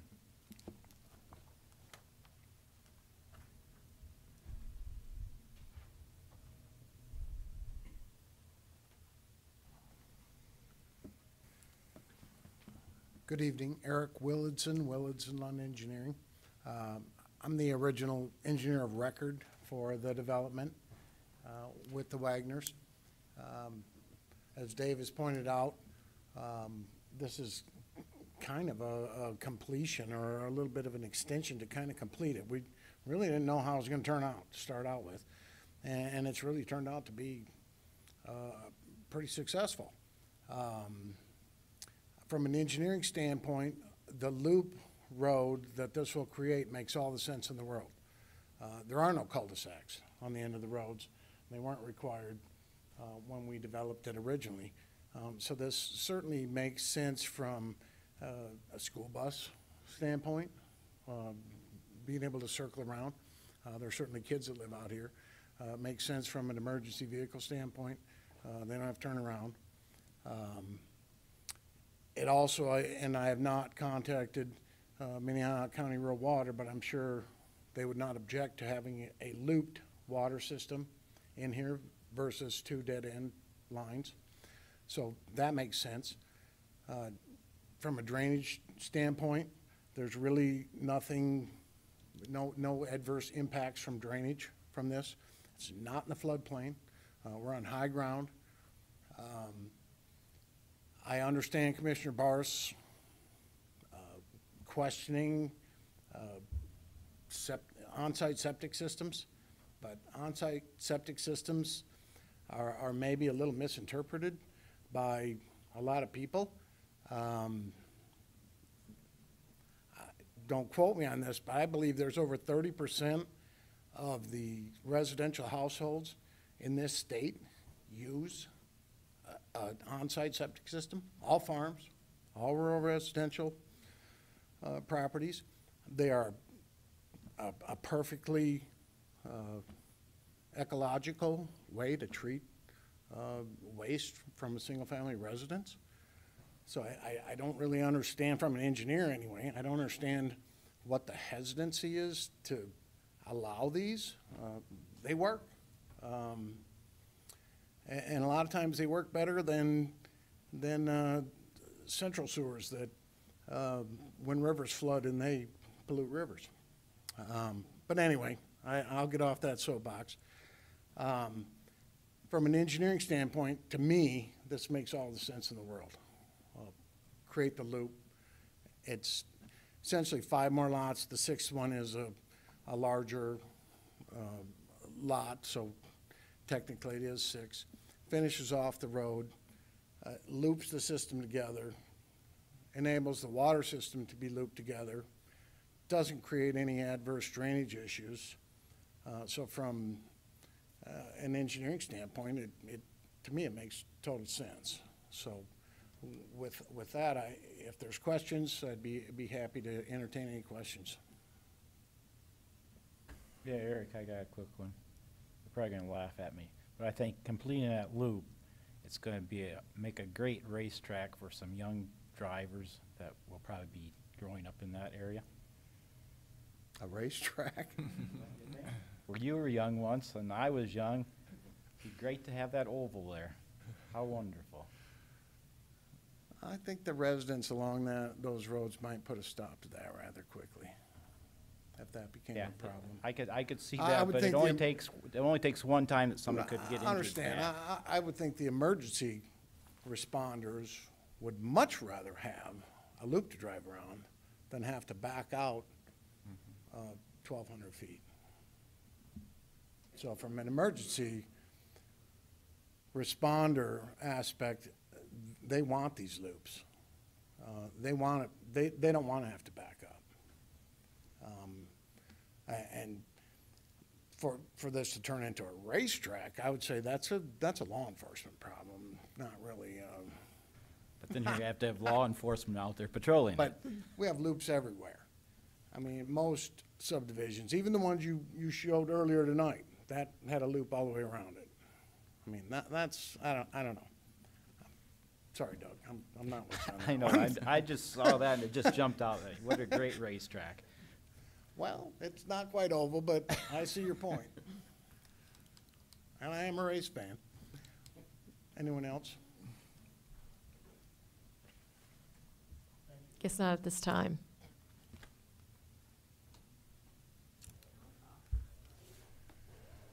I wasn't gonna talk anything, but I think I can address Scott's concerns probably better than anybody here. as Can you far please state your name and Oh, address, I'm ma'am? Laura Wagner. Um, I live on the property. And they, you, I know you, to. I know you think that it might change the character of the of the property, but it won't. I promise you that, because it's gonna stay. But all the views from all these houses stays the same. This is literally our driveway where these lots are, and that's a beautiful view to look at horses also. And right now, nobody really has access to the back sub-area C. That's our backyard, basically. And with the road and these people are, we have the most physical fit neighborhood. They all walk, they're all lovely, young couples, couple older retired people. But it's gonna allow them access to back there. There's a pond back there that is beautiful. I'm gonna move my miniature horses back there. I've got some goats that are gonna, I'm gonna move back to that area. I mean, the kids love to go see them and they pet them. It's a lovely neighborhood and it's gonna stay rural as long as I'm alive. Um, and it's, it, it's beautiful views from all those spots. It's not gonna change the views to anybody who lives there. There's, and they all, they all know about it. They're all excited about it. They all like it, and it will give more access to the back area, which is really pretty. And I think it'll be a big plus for the neighborhood. And if, if you go out there and look at that road, it's not gonna be a racetrack. It's- They never. yeah, well, it won't be, because I will be living there, and it won't, I will not let them be a racetrack, but it's not. And honestly, I don't think people come up that road except they live there now. And it's, um, there's hills, and it's, it's, it's not really a. I've driven on, I've driven around. Okay, all right, all right. I got a question for you. Ma'am, will you please come back? Um, just curiosity about, what's the maximum number of horses that you do have there at one time? And does that number fluctuate? Um, it fluctuates, but pretty much about forty to forty-five. And what is, 45. uh, what is, uh, horses animal unit, what does that count equal to? Two. What's that? Okay, an animal unit. Oh, I don't, I don't know. There's thirty horses, there's thirty stalls in the stable. Okay. And tha- that's gonna stay the same. Okay. I'd like to concentrate on making that area pristine. I'd like to redo some fences. I wanna move some of the equipment and just make that area really nice. We've, we have probably fifteen to twenty horses in that pasture area. They live outside all the time. And as we're getting older, every three days having to put round bales out there. We're tired of that, to be honest. Katie runs the stable part really well, and we don't have to store hundred and twenty round bales, which would be nicer for the neighborhood. I just think it'll, it'll improve the property and my life. Because I won't be out there in a blizzard putting round bales out, so. We can take care of the stalled horses. I think it'll be nice. Thank you. Any other questions? Not this time. Okay. Anyone else care to speak to this item?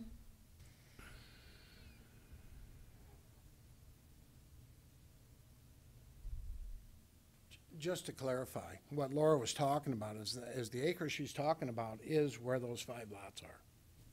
It's, the pasture is not out in sub-area B. The horses are on where those five lots would be. That's, I just want to make that clear. The pasture horses, that's where they're at right now.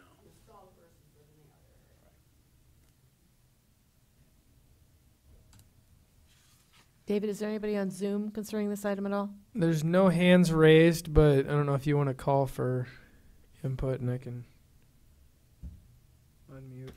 Is there anyone on Zoom that cares to speak to this item?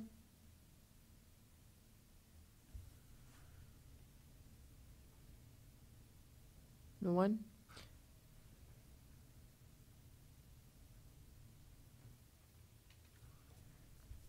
I don't see any hands raised. Scott, could you come back to the podium? I have a question for you.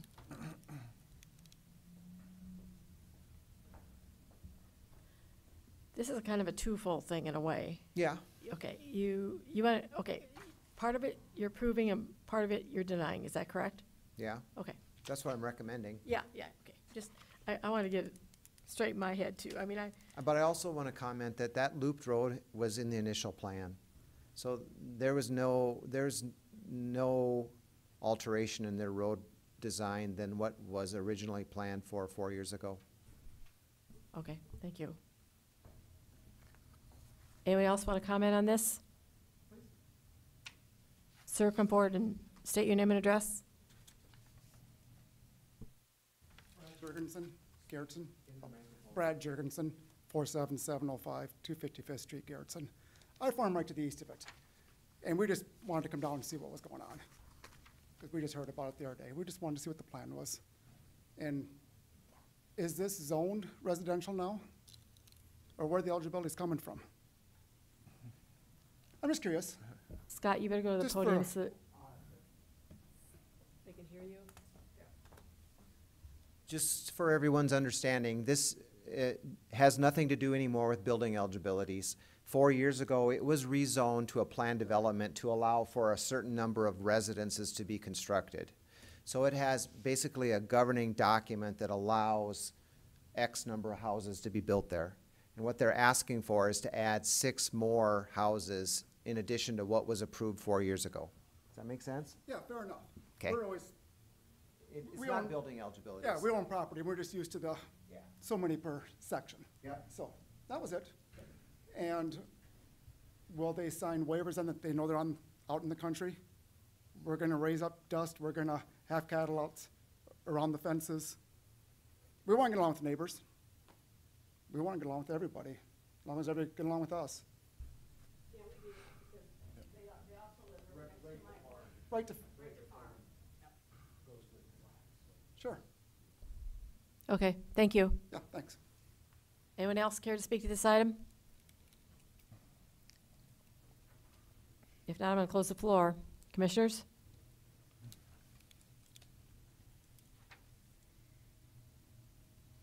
Madam Chair, if I may. Is this Mike? Yes, ma'am. Okay, go ahead. Um, I guess, you know, some of this was probably just a reiteration, but in my mind, you know, Scott kind of pointed out too, this, this loop road construction was always on the initial plan. I guess prior to that, you know, I had written down a couple notes that, you know, both the loop road and the loop water service kind of redundancy, the backfeed, everything.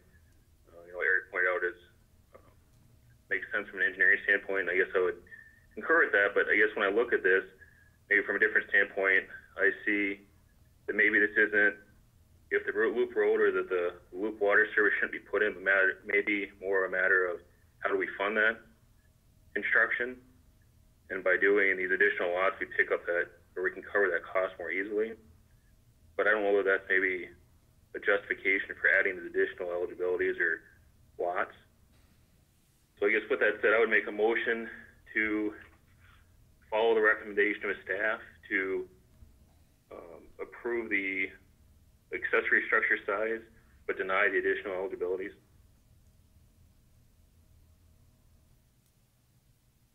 Do I have a second to that motion? This is Becky Randall, and I'll second that motion. Thank you. Any further discussion?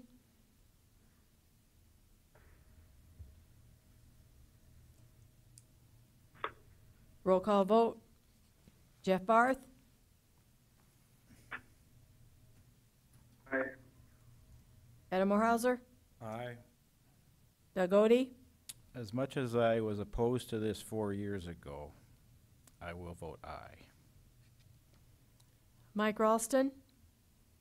Aye. Becky Randall? Aye. Ryan Vandervliet? Aye. Bonnie Duffy? Aye. Major amendment has been approved. Duffy, Yes. I just wanted to clarify, we had the two separate issues on the, on the agenda. One was, as you mentioned, was the making the accessory structures larger, which we did not oppose. I did not talk about that. That seems to be one issue. Um, When Mr. Odie made his comment that he was not in favor of it four years ago, it seemed to me like maybe we have a confusion on the vote. Um, I just wanted to ask if there could be a separate vote for each portion of the proposed amendments, just so we're clear. Is Donna Kelly still here? Trying to bring her in here?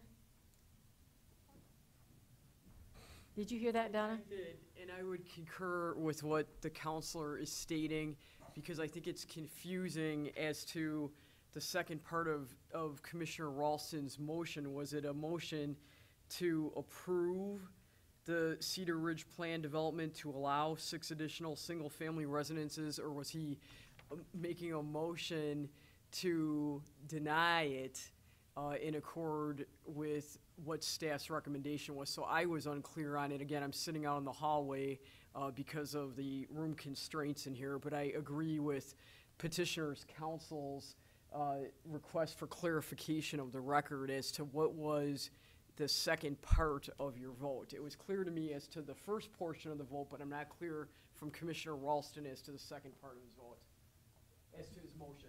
So, Madam Chairman, maybe we need two motions. One motion for the request for the twelve hundred, larger than twelve hundred foot accessory structures, and then another motion on adding six lots. Is that, can we do it as two separate motions? So why don't we do it that way? Proceed in that fashion with two separate motions. Okay, commissioners, let's start from scratch here. One section at a time.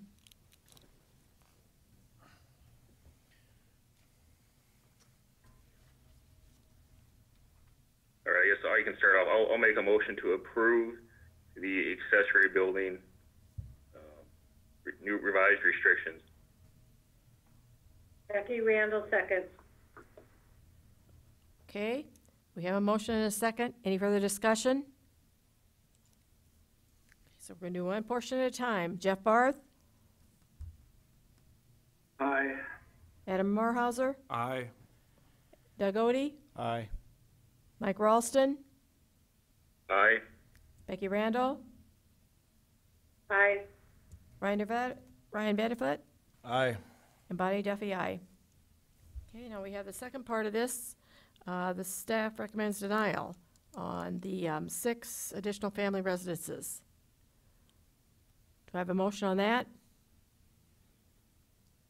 I'll make a motion to deny the additional six eligibilities. Doug Odie will Becky second Randall that. seconds. Okay, we have, we have a motion second. Is there any further discussion? Roll call vote again. Jeff Barth, Aye. Adam Mohrhauser, Nay. Doug Odie, Aye. Mike Ralston, Aye. Becky Randall, Aye. Ryan Vandervliet, Nay. Bonnie Duffy, aye. That motion passes. As denial. Thank you. Move on to item number five.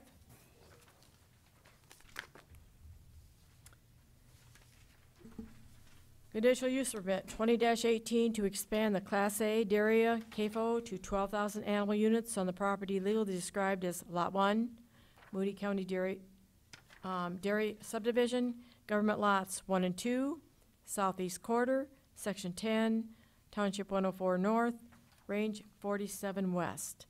Uh, this is Moody County Dairy, um, Lynn Boadwine, he's also the owner, located approximately four, four miles north of Sherman. Kevin?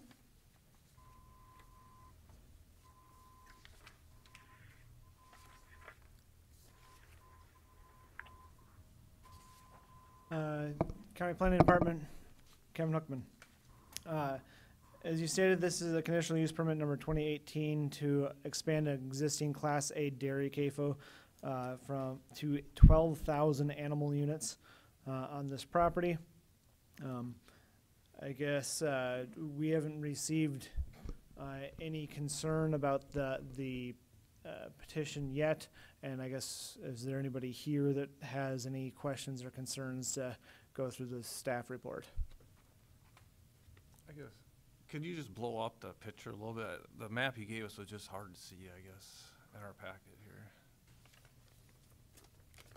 Um, yeah. There, that's a little better. th- The map is a little difficult because it was scanned from a large document to a very small picture.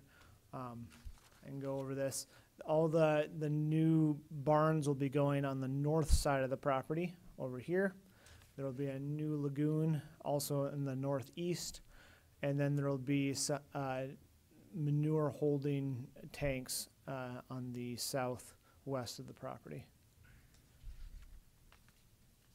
and the tanks are for uh, methane digestion. Okay. When he was here last year, was- there was a stream or something, I think that was in question for that one lagoon, right? Yeah. And we're all good now with that? S- So, yes, and then the new plans are gonna be set, set, set back from that stream. The stream would be right through here. So, yes.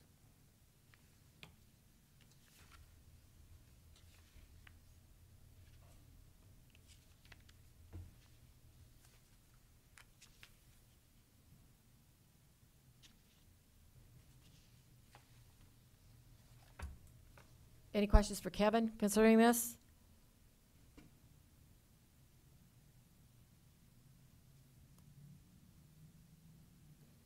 Guess not. As a petitioner here, will you please come forward? State your name and address. Lynn Boadwine, four six nine four five, two hundred and fifty First Street, Baltic, South Dakota. Any questions for the petitioner? Yeah, Lynn, this digester, will that require additional water usage than what we? No. Um, so just a, just a very brief, you know, some of the, you know, I saw the, the drawing of the tanks, you can't see them very well. Um, You know, just a very quick description of methane digester. The project is, is there's a separate company coming in and we're gonna put our manure stream through the digestion portion and they're, uh, slated for this is three, uh, concrete tanks, uh, partially in the ground, partially above, and they have a, a cover over them, oxygen, so everything gets heated and the methane gas is created and then it'll go into a natural gas pipeline. Um, so there's no additional water usage with them. Actually, there's a little decrease when you go through the microbial process, there's a little decrease in the waste generation. And so I was just here last year in 2019, and that was prior to me knowing anything about the digester project. Um, and last year was so wet, you know, we were really slow on the construction, on the expansion. So we've done, some of the boxes that are on there are done, but we never really, um, you know, made it, you know, never completed that expansion last year. And I've always kind of had a commitment to the county as, you know, from my own personal viewpoint,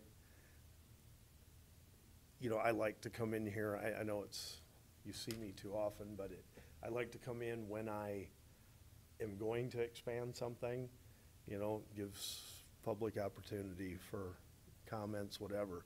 So when this digester project came about, what we want to do is pull forward, um, cause the more, more manure going through it, the better.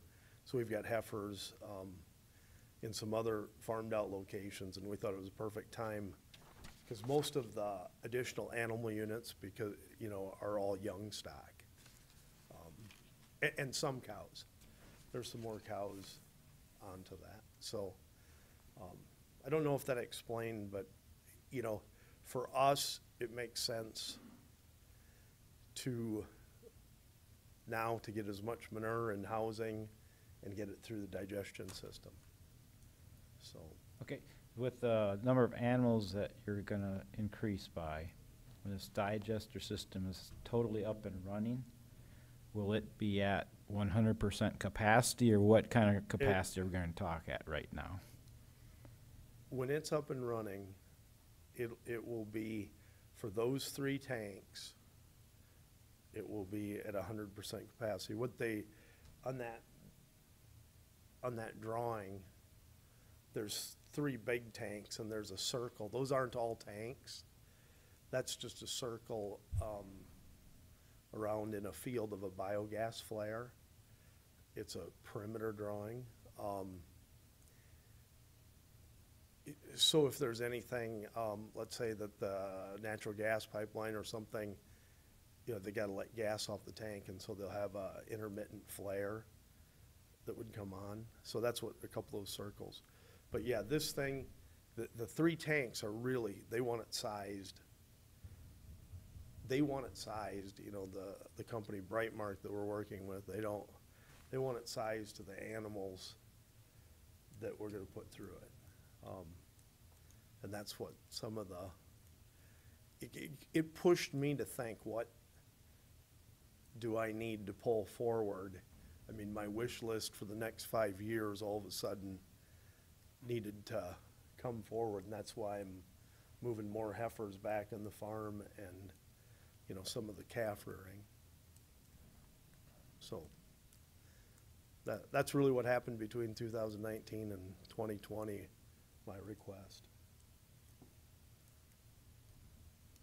Any further questions for the petitioner?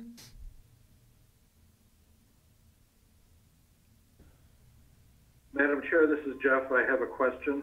Go ahead. Uh, Lynn, how are the roads uh, treating you, and what direction do you generally send the milk from this facility? Does it go east or does it go north and then and then or west? It- I'm only asking because the Yeah. roads are not that great up there.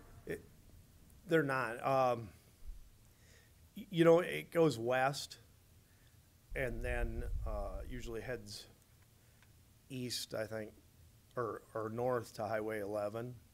Um, you know, sometimes, you know, last year was a, you know, terrible year for getting stuff out. So, and, and, you know, the gravel road, we pretty much maintain the gravel road leaving the dairy, and we've worked on that. And, and there was some discussion with the county about taking out that small highway um, that moves between Sherman and Highway eleven, which, you know, I just hated, I, I don't know where they've landed on that project, but I just hated to see that leave because it's pretty tough to take a highway that you built something like this by and turn it into gravel road, so. But I, I don't know where that's at, but you know, we're, you know, we're getting by, you know, pretty good right now. And if I might, uh, how quickly will you get up to that new, uh, if we permit this, how quickly will you get up to the higher limit of animal So- units?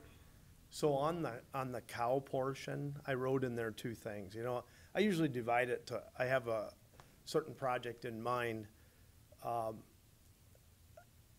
What I'm slating for right now is to add the number of cows. um, Because we're flipping what was a heifer barn, um, you know, that's kind of hooked onto the milking parlors. It was originally slated for heifers, and so we're converting it from heifers to lactating cows. And so that fits with the, with the parlor system. And then we're gonna build a barn, uh, the barn that is, uh, you know, just beneath, like the manure storage is there. That will be a replacement heifer barn put in that location. Um, so that replacement heifer barn would be for eight hundred breeding heifers, and that would get built, uh, this year. And then there's another barn on the lower portion of that that's beneath, you know, that would be on the lower and it's to the west. And that's a future, I mean, our herd has, um, our mature herd has all these small little crossbred beef, beef calves.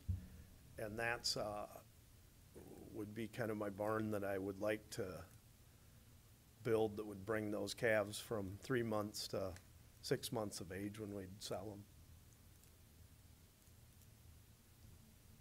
So, pretty, you know, a lot of the animal units are pretty small animals. A- And I don't think we, we're adding another waste storage, but that is, some of that's in and around, um, you know, I don't, I always want lots of room because of years like last year. Um, and we don't like spreading manure or pumping manure in the spring. And we could use the dirt, you know, some of the earth for this project, so.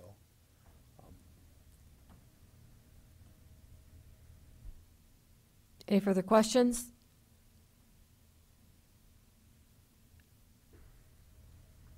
Thank you. Anyone else in the room here care to speak to this item?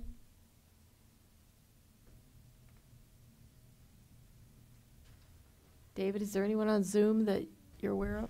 No hands. Okay. Okay, commissioners?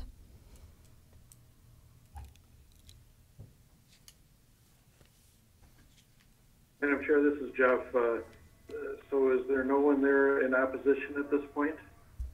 Not that I can see. Nobody's come forward to speak.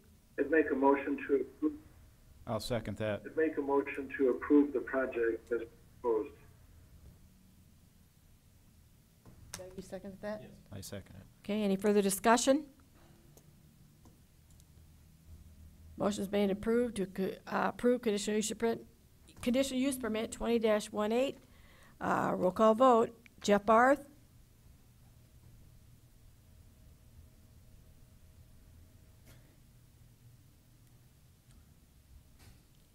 Jeff Barth?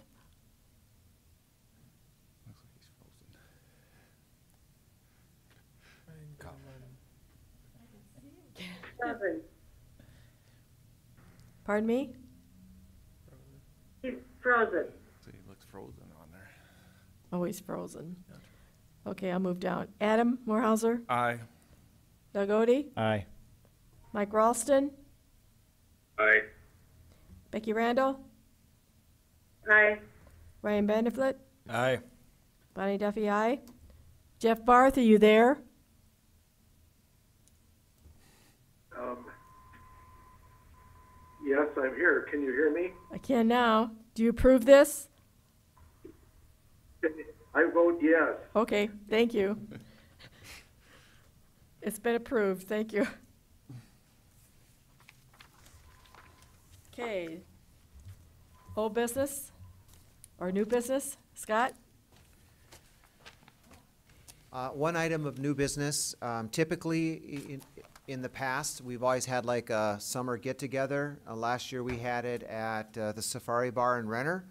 And so I am wondering if you want to proceed on with having another um, recognition dinner, or if you'd rather just skip it, given the fact that we are practicing social distancing and, um, and the current situation. So, uh, what is the, the thought of the planning commission? As much as I enjoyed it last year, I'd say skip it this year. I'm indifferent. It doesn't matter. I guess Don't I, matter can- to me I, I either. can, we can skip it a year. Okay.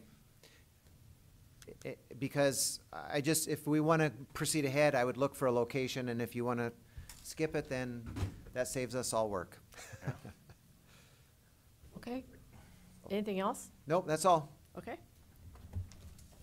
Need a Motion to adjourn. He makes motion to adjourn the meeting. I'll second that. Okay. Roll call vote. Jeff Barth? Adam Mohrhauser? Aye. Doug Odie? Mike Ralston? Aye. Becky Randall? Aye. Ryan Benefit? Aye. Bonnie Duffy? Aye. Meeting is adjourned. Thank you, everyone.